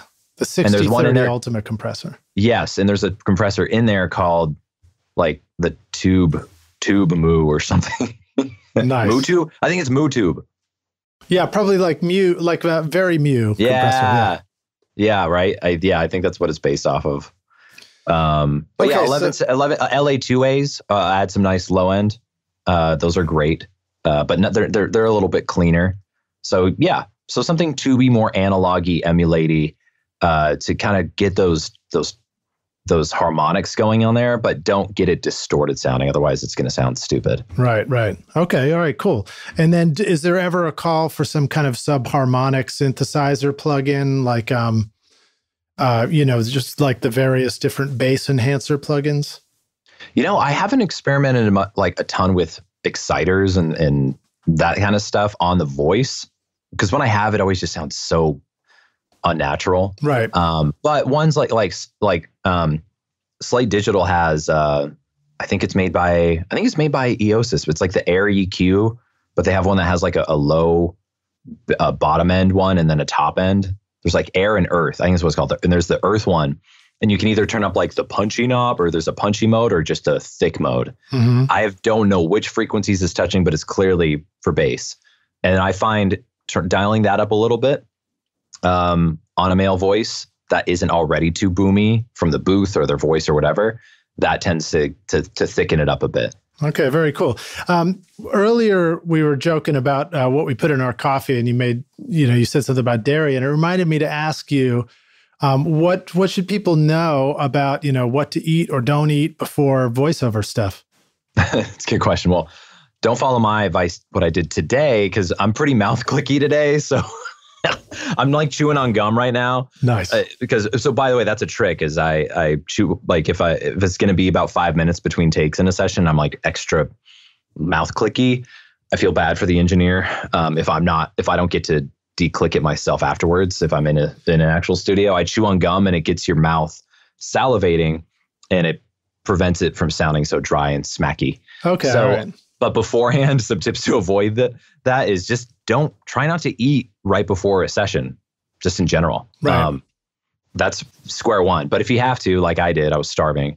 Um, avoid dairy is one of the biggest ones. Spicy foods, just things where your body kind of reacts to more as opposed to you know. Um, uh, but really, those are the main ones that that that um, caffeine, like coffee, unfortunately, uh, no matter how expensive the coffee maker is, it will still dry you out if you're not heavily hydrating with water on the side. Yeah, so I've been going through uh, lots of coffee on this interview and also drinking a big glass of water. So I'm not sure if that counts or not, but No, that does like honestly, like if you if you have to have the coffee, right? Like I had to eat food. Um, just Okay. just try try to avoid the dairy, and if it's caffeine, just try to drink a lot of water with it. I- Otherwise, you're gonna. Oh, I was going to say, technically, I don't think I had to have the caffeine in the coffee. yes, you did. Whatever you need to tell yourself, ma'am. All right, so um, very cool, man. Well, let's um, let's see. What else should we keep talking about? I mean, um, we've covered a lot of stuff. Do you want to talk more about mixing the voice with music when you make these reels and demos? I did write down a question to ask you about, you know, ducking or no ducking. What is that? Is that a tool we need to understand and use when we're doing voiceover stuff? Oh God, I'm so glad you asked this. I'm so glad you asked this. I didn't know this was coming. So this is authentic excitement, people. Okay, great. Um, that yes, please use ducking, please. Now, I'm not saying this because I'm a fragile actor and I'm like, I only need to hear my voice. I don't care about your music bed that you composed from scratch. And you know, it's I'm not. It's not coming from a place of that. It's coming from. I'd rather, at the end of the day, whether it's in a film or it's in a tutorial video on YouTube, right? Even if you're demonstrating something on mixing and you're talking over music that is consistently playing, just I would rather eh, myself and anyone else, just a viewer who doesn't even know audio, would rather be able to clearly hear the voice speaking to them, which is what the con, which is what they're there for, is to learn what you're saying or hear what you're singing or, or, or uh, I mean, speaking. Um, the, and have it be too aggressive of ducking where it really turns it down because you didn't, you just didn't do the ducking well, versus no ducking at all, and then where you're like, oh yeah, I can hear him nice and clear, and all of a sudden the music bed's like dun dun dun dun dun dun dun dun dun dun dun right? It's like the big climax in the song, and all of a sudden like the voice, you can't really hear anything.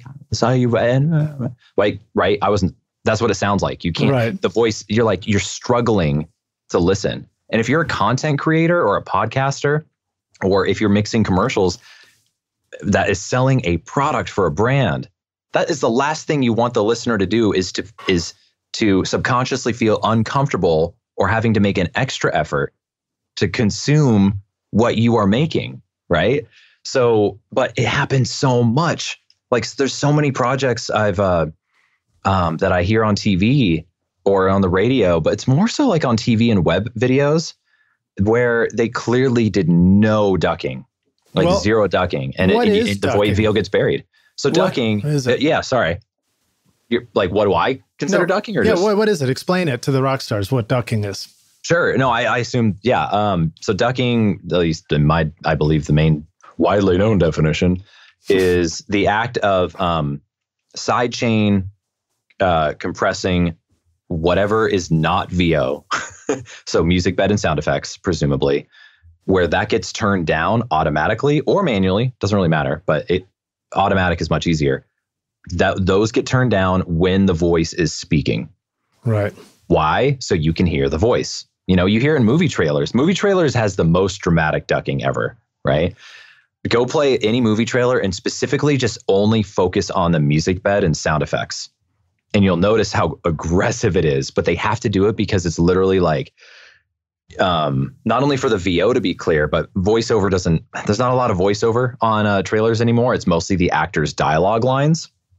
And mm-hmm. that has to. So now that you're dealing with Tom Cruise, you definitely, no one's ever going to make Tom Cruise's voice get buried, right? They're going to do everything they can to make sure that guy's voice sticks out um, because of the importance of it. So you hear like, burn, dun, dun, dun, burn, and then, and it just like all of a sudden it turns down like 20 dB as Tom says his line. And as he finishes his line, it turns back up. Boom, boom, boom.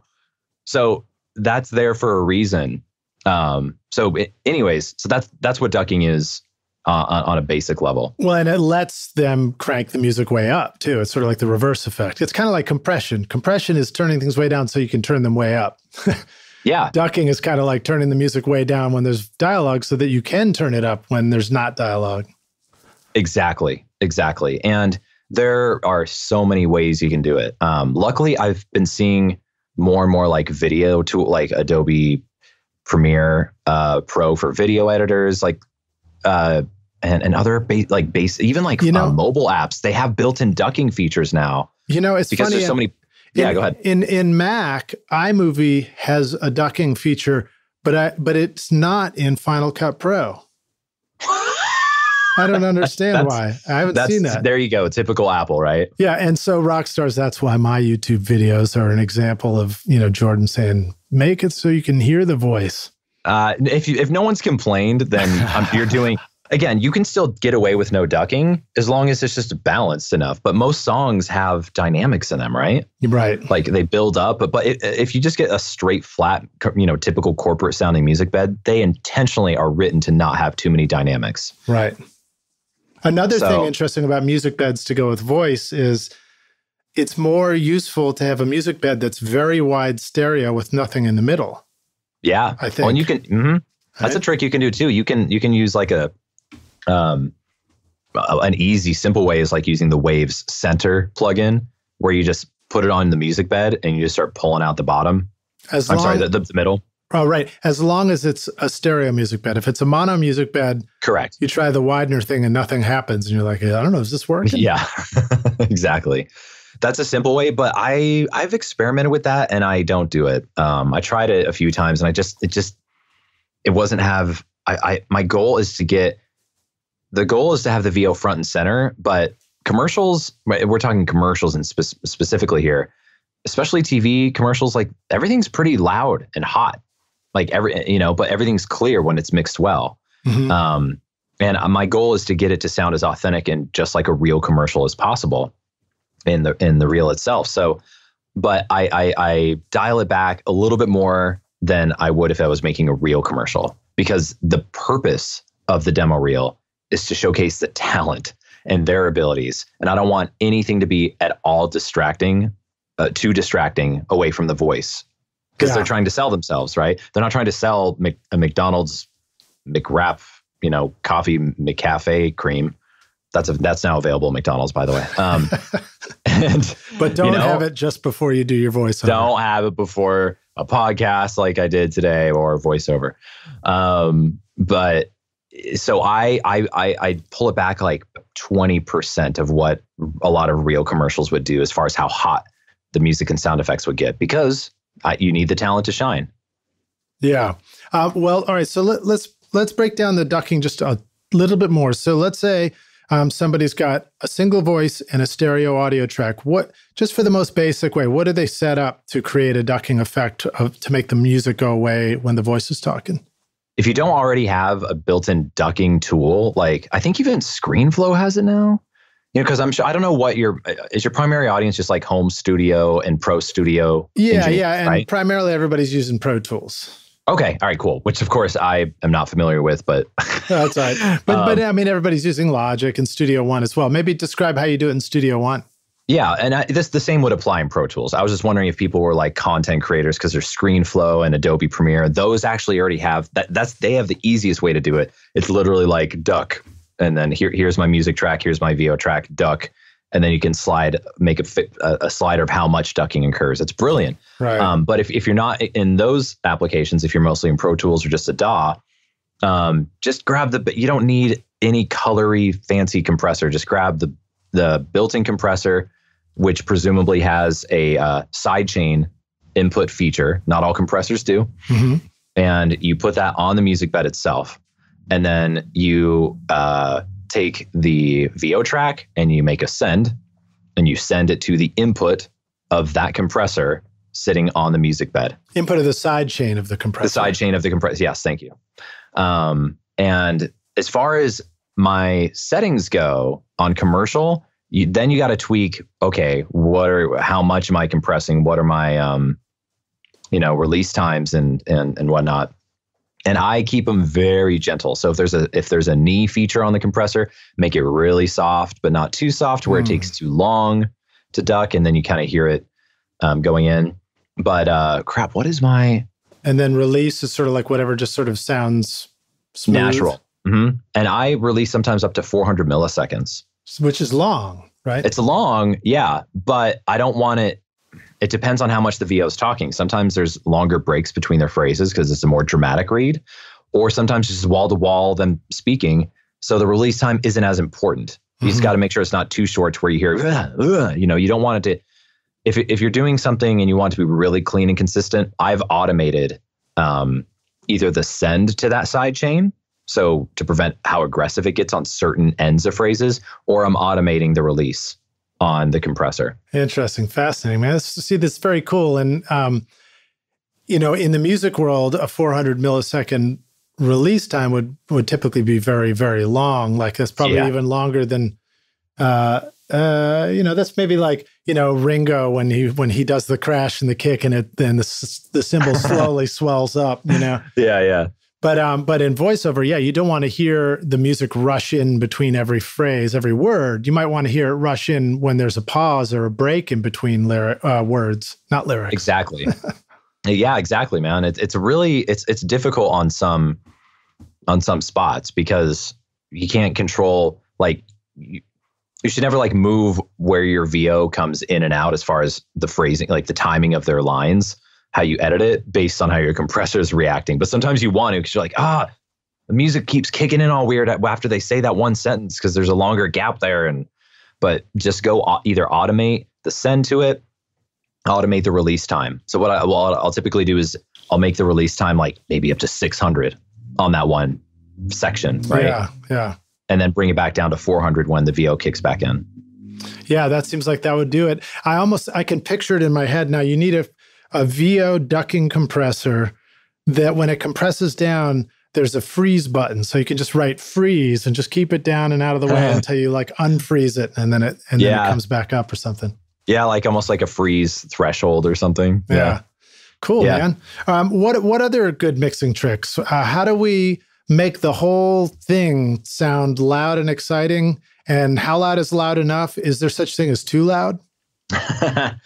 In in what? In demo reel sense? Yeah, like, like, this whole this whole glued mix of the voice and the music together. And again, Rockstars, if you're trying to picture what we're talking about, um, you know, the YouTube playlist of Jordan's work gives you the, all these samples of like voiceover music, you know, and doing these different, um, you know, like different ads or different voiceover stuff. But but like I guess each thing is different. Like a commercial might be really like in your face and where you're mixing voice and music that's meant to be part of a um, a video game, it might be more subtle and chill. Yeah, no, you're abs- you're, you're absolutely right. Um, it depends on the genre, but for simplicity's sake, um, let's stick with commercial, right? Yeah, let's do the now, hard the hard stuff. yeah. now a, dem- a demo reels.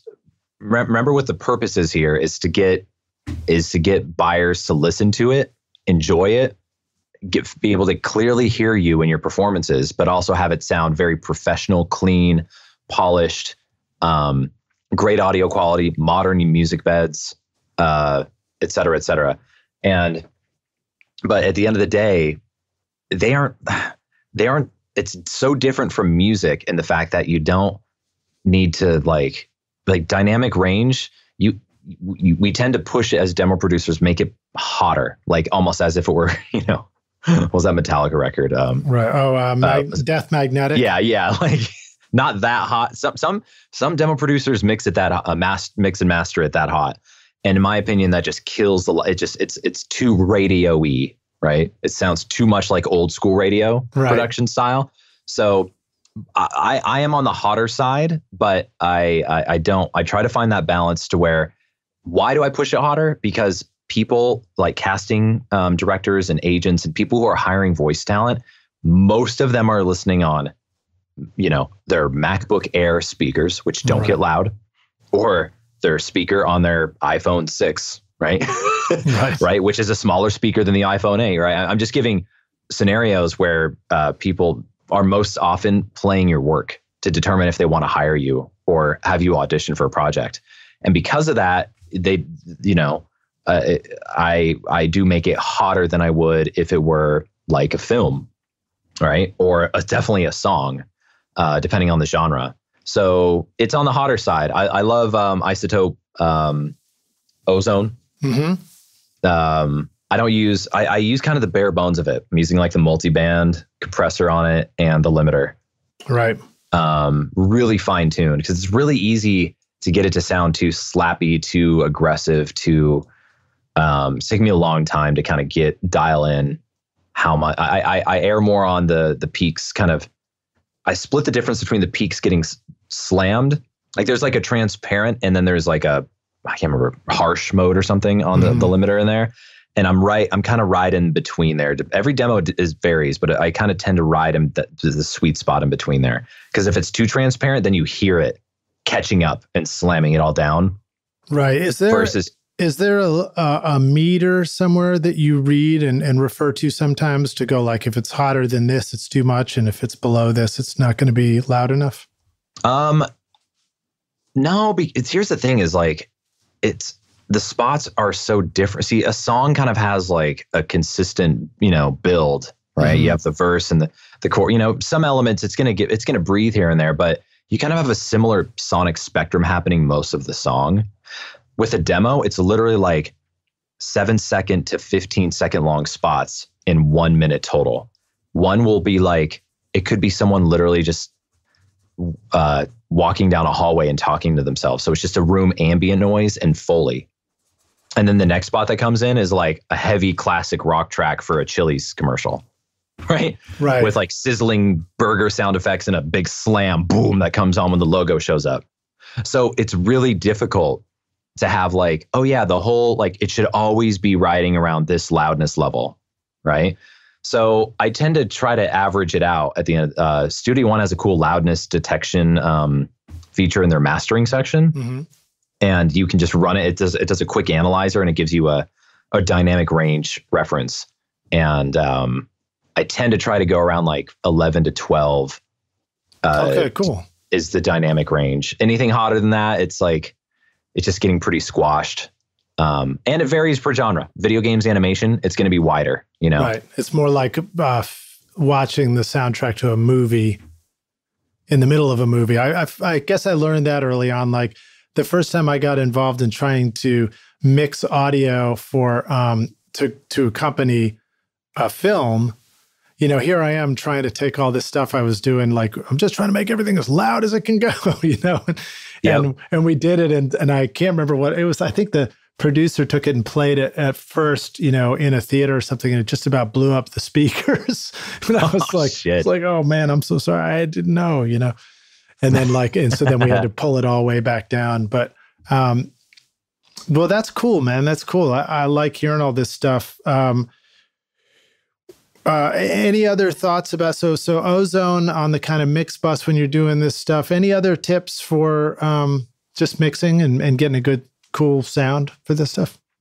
man it's just let me just put it this way it's like you just got to do it right the more time you spend doing it like uh, every demo i i mix i get better like I, I either try i discover something in a plugin that i didn't realize i had or i just notice your ears just get better and better and better the more you are using that part of your mind to really listen and be critical right on okay, this is kind of it's like if it's someone's home studio and it's not your favorite sound, but it's still professional, like it's not crap, but it's not how you would prefer it to sound. It's like, okay, here's a new challenge, right? I got to figure out like, okay, well, I usually what I usually do is cut out some low end here and when so I try to challenge myself to not always just do what I usually do, Right. right?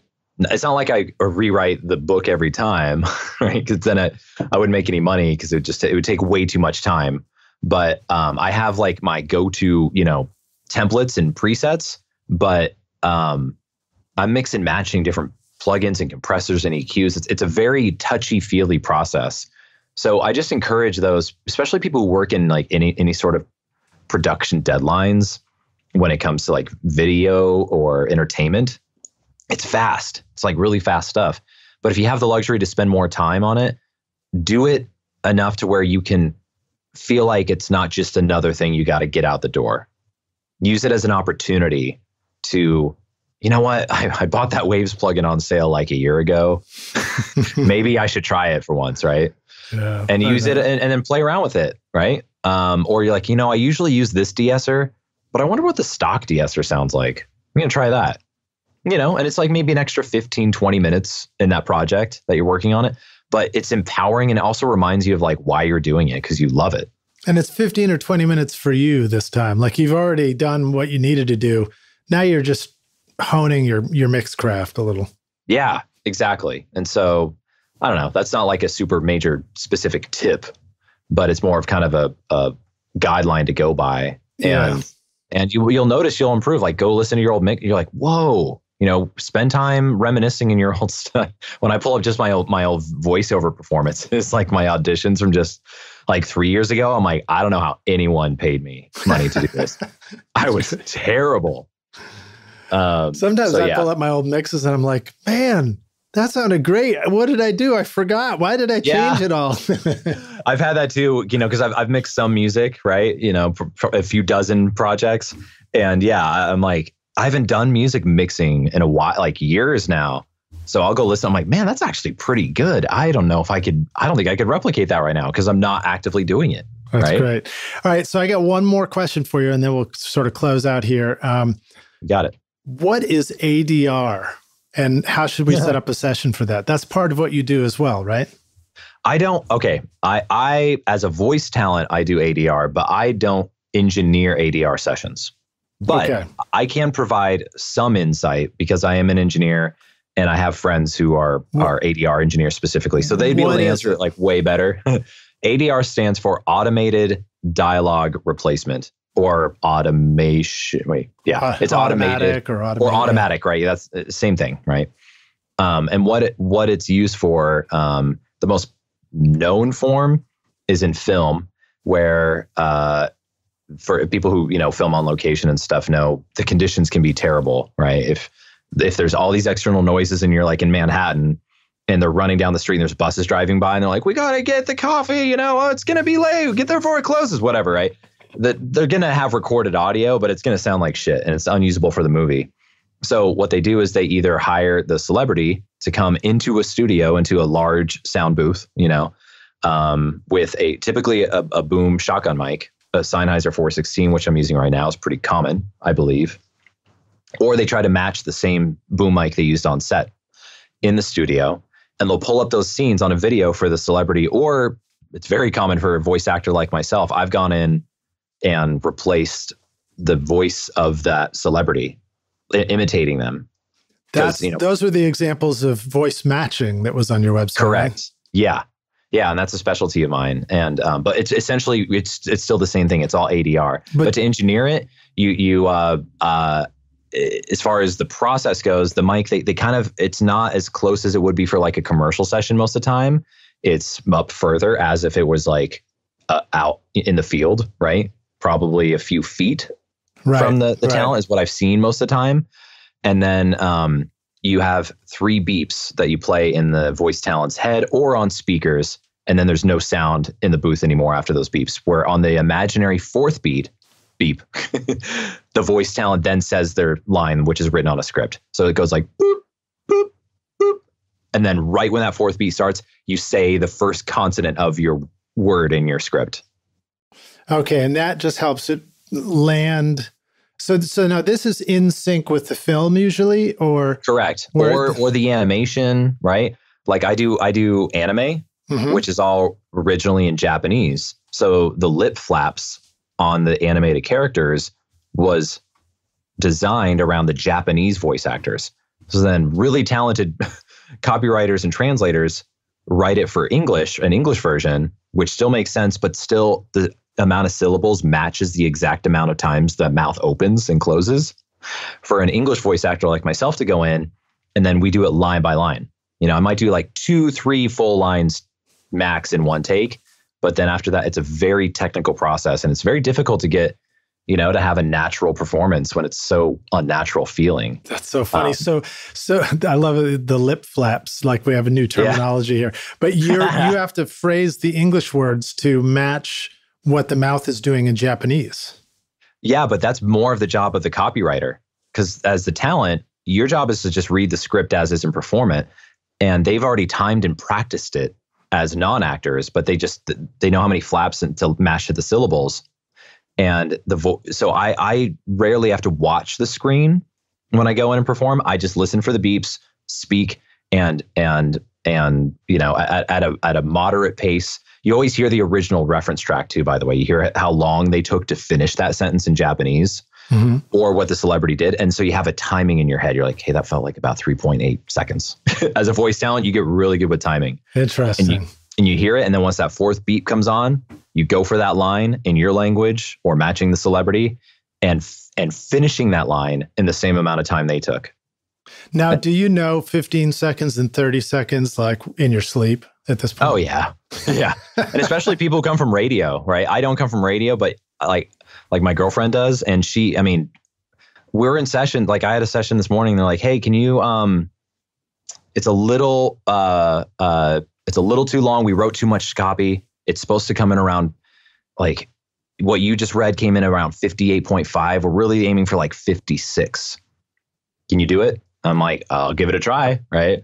And most of the time, because I've been doing it for so long and I've done thousands of commercials, I usually nail it or I'm really close. So I'll get it like at 55.8 or 56.7, which is within the range that they wanted so they could fit in sound effects and other things. That's so fa- yeah, that's fascinating. In order for me to get it down, I just edit out all my breaths. yeah, and that, but then that sounds weird, right? It's like, whoa, he's like, is he yeah. going to pass out? Yeah, I may have a couple of weird sounding ones out there. Um, so then, um, any any uh, fun stories about doing celebrity dialogue replacement? Anybody want to? Anything you can tell? It's all it's all secretive, right? Dude, yes, that's what's so frustrating about our business is like especially in video games and film stuff, like you go in and you work on these things and you can't, you sign really big non disclosure agreements, like scary ones where they're like, we'll take your firstborn. I mean, it doesn't say that literally, but damn near, right? It, because they want to protect their their content. I get it, and um, funny, yeah. So um, the I, have done really big celebrity, very funny celebrity, um, a bunch of TV trailers, and another cool project where his voice is going to be used on for a character that he does in a movie coming out. I can't share it until it comes out next month. But um, all right, all right, we'll wait. We'll I, wait I wanted, patiently. Yeah, uh, yeah. So that that one's really, I'm really looking forward to sharing that. I think through the power of deduction, though, we can figure out the uh, the two celebrities whose voices you haven't replaced before which are John Lennon and Paul McCartney. yeah, right. I know. I need to work on those. All right, man. Dude, it's such a pleasure to have you here on Recording Studio Rockstars. I have one last clo- closing question. This one is hypothetical. We're going to take the way back voiceover studio machine, and you're going right. to go back in time, find young Jordan, and say, I don't know what voice you're going to use. Hey, Jordan. Here's the single most important thing you need to know to be a rock star of the voiceover recording one day. What, what is, advice would you go back yeah. and give yourself? yeah, I, I I definitthis have developed a southern accent. That was a great impression of me, man. Thanks. I've hey, been, Jordan. I've been, I've been, working on it for a real long time. this is what happens when you live in Nashville for uh, I know. 30 years. I was going to say, you actually don't have much of an accent for living in Nashville. Um uh yeah be like hey jordan so uh you're you're 21 um i won't do that the whole time. So yeah uh my my young self getting into vo um i would say hey uh, just to bullet point a few things. It's not about your voice it's about acting. So don't spend so much time thinking you can do it and actually get trained on how to do it. On nice. the audio side of things um less is more you know? Don't go downloading illegally downloading every like the waves, you know, Mercury bundle on BitTorrent when and and think your everything is going to sound 10 times better because you now have it because it didn't right? Like that's that's yeah. how i started. This is before i was getting paid or anything. I was playing around and i shouldn't have done it but we've all done it. I think everybody's done it. Yeah. It's like when you're first getting started you just want it all because you want to be good right? But it's all about the long game right? You're never going to just knock it out of the park right when you start. You got to do more instead of you can learn but learn more by doing as opposed to watching yeah. and listening. Well, the other thing that happens, you know, as a youngster downloading a, a cracked plugin is one day you actually meet somebody who makes the plugin and you're like, uh-huh. oh, you're just like me and trying really hard to uh to to do this right, you know. So yep. That's pretty uh, um, enlightening, and it, it'll change your attitude quickly. No, essentially, what my rule was, uh, it was um, because I, you know, I wasn't making a dime. Like I was, it was all for play. And again, that doesn't excuse it at all. like, but that's what I, that's what I told myself. And, um, and frankly, most of them didn't even work and whatnot. But of the ones that work, I was like, once I start making money, then I'm gonna buy. And, and I, I did it. I did it before I even started making money because I just felt too bad because the, the, the the plugins were so good and they helped me so much um, learn. Right, yeah. that I I like to you know so I buy them on sale and support them and you're right and then you go to conferences like audio conferences and stuff and then you you meet these great people who you know trying to make a living with just like you are so yeah Exactly. Don't buy. Don't, don't do crack software. Folks. Exactly. That's what I would tell my young self. um, very cool, man. Well, dude, thanks so much for uh, joining us on Recording Studio Rockstars. What a pleasure to to meet you, and to just hear all these great stories, and to just get into this you know, really brand new topic. Uh, yeah, dude. I, I, hope it's interesting, man. it's very specific. It is. But... It's very cool stuff. And and again, um, Rockstars, I encourage you to consider the fact that you are very attentive to audio to just like open up your understanding of what's possible as far as stuff that you can get into recording that's you know also beyond music is you know doing voice recording is it's some it's cool stuff and it's really rewarding and it's a lot of fun to do Oh, there, do All audio engineers out there looking to make a buck on anything that they can with their skills. Huge market in in voice production, like podcast alone, but like ads and bumpers on podcasts. Um, Alexa, you know, Amazon Alexa skill sets, skill sets. There's all these things that voice is going into where they need good quality, like meditation apps. Think of how many apps right. that have voices that talk to you now, right? Like they're filled with mouth clicks like I am today. Um, but we'll make we'll make sure Lij takes care of that. Um, I got a plug in for that. Yeah, exactly. He's got the iZotope going, and I paid uh, for it. That's good. That's I'm glad you could share that with me. Yeah, you're so honest. You're welcome. Like, um, yeah, awesome. Yeah, so so how can the rock stars find you online? How can they they follow you, learn more about what you do? Um, you know, go hear you speak at a conference, all that kind of good stuff. Uh, thanks, man. Well, the easiest way is just jordanreynolds.com. That's with Jordan with an A, like Michael Jordan. just can't jump as high as him, unfortunately. I tried. Uh, Jordan Reynolds, R E Y N O L D S. And I have all my social media links on there. But I think if you just Google my name, I believe I'm usually the, the more the more well-known Jordan Reynolds. But nice. I think there's an up and coming like basketball player in college or something who's getting more, like more well. I don't know but I'm pretty easy to find online. Instagram, I'm most active on. Uh, Twitter, Facebook, you name it. All right, cool, man. Well, thanks again for being here with us. Um, if you have any closing words for the rock stars, um, now's the time to say it. Otherwise, I, I look forward to meeting you in person. And um, who knows, maybe we'll be doing some kind of a. Well, we won't. I don't know if we'll do a record together, but we might do a record of the human voice at some point. Dude, we'll do the first album that's all spoken word. Nice. Yeah. Awesome, man. World. Well, thanks, thanks a lot, dude. And uh, look forward to seeing you around the studio. Thank you so much, man. It's been an honor. I really, this has been a blast. Thank you. Awesome. Cheers, man. Cheers.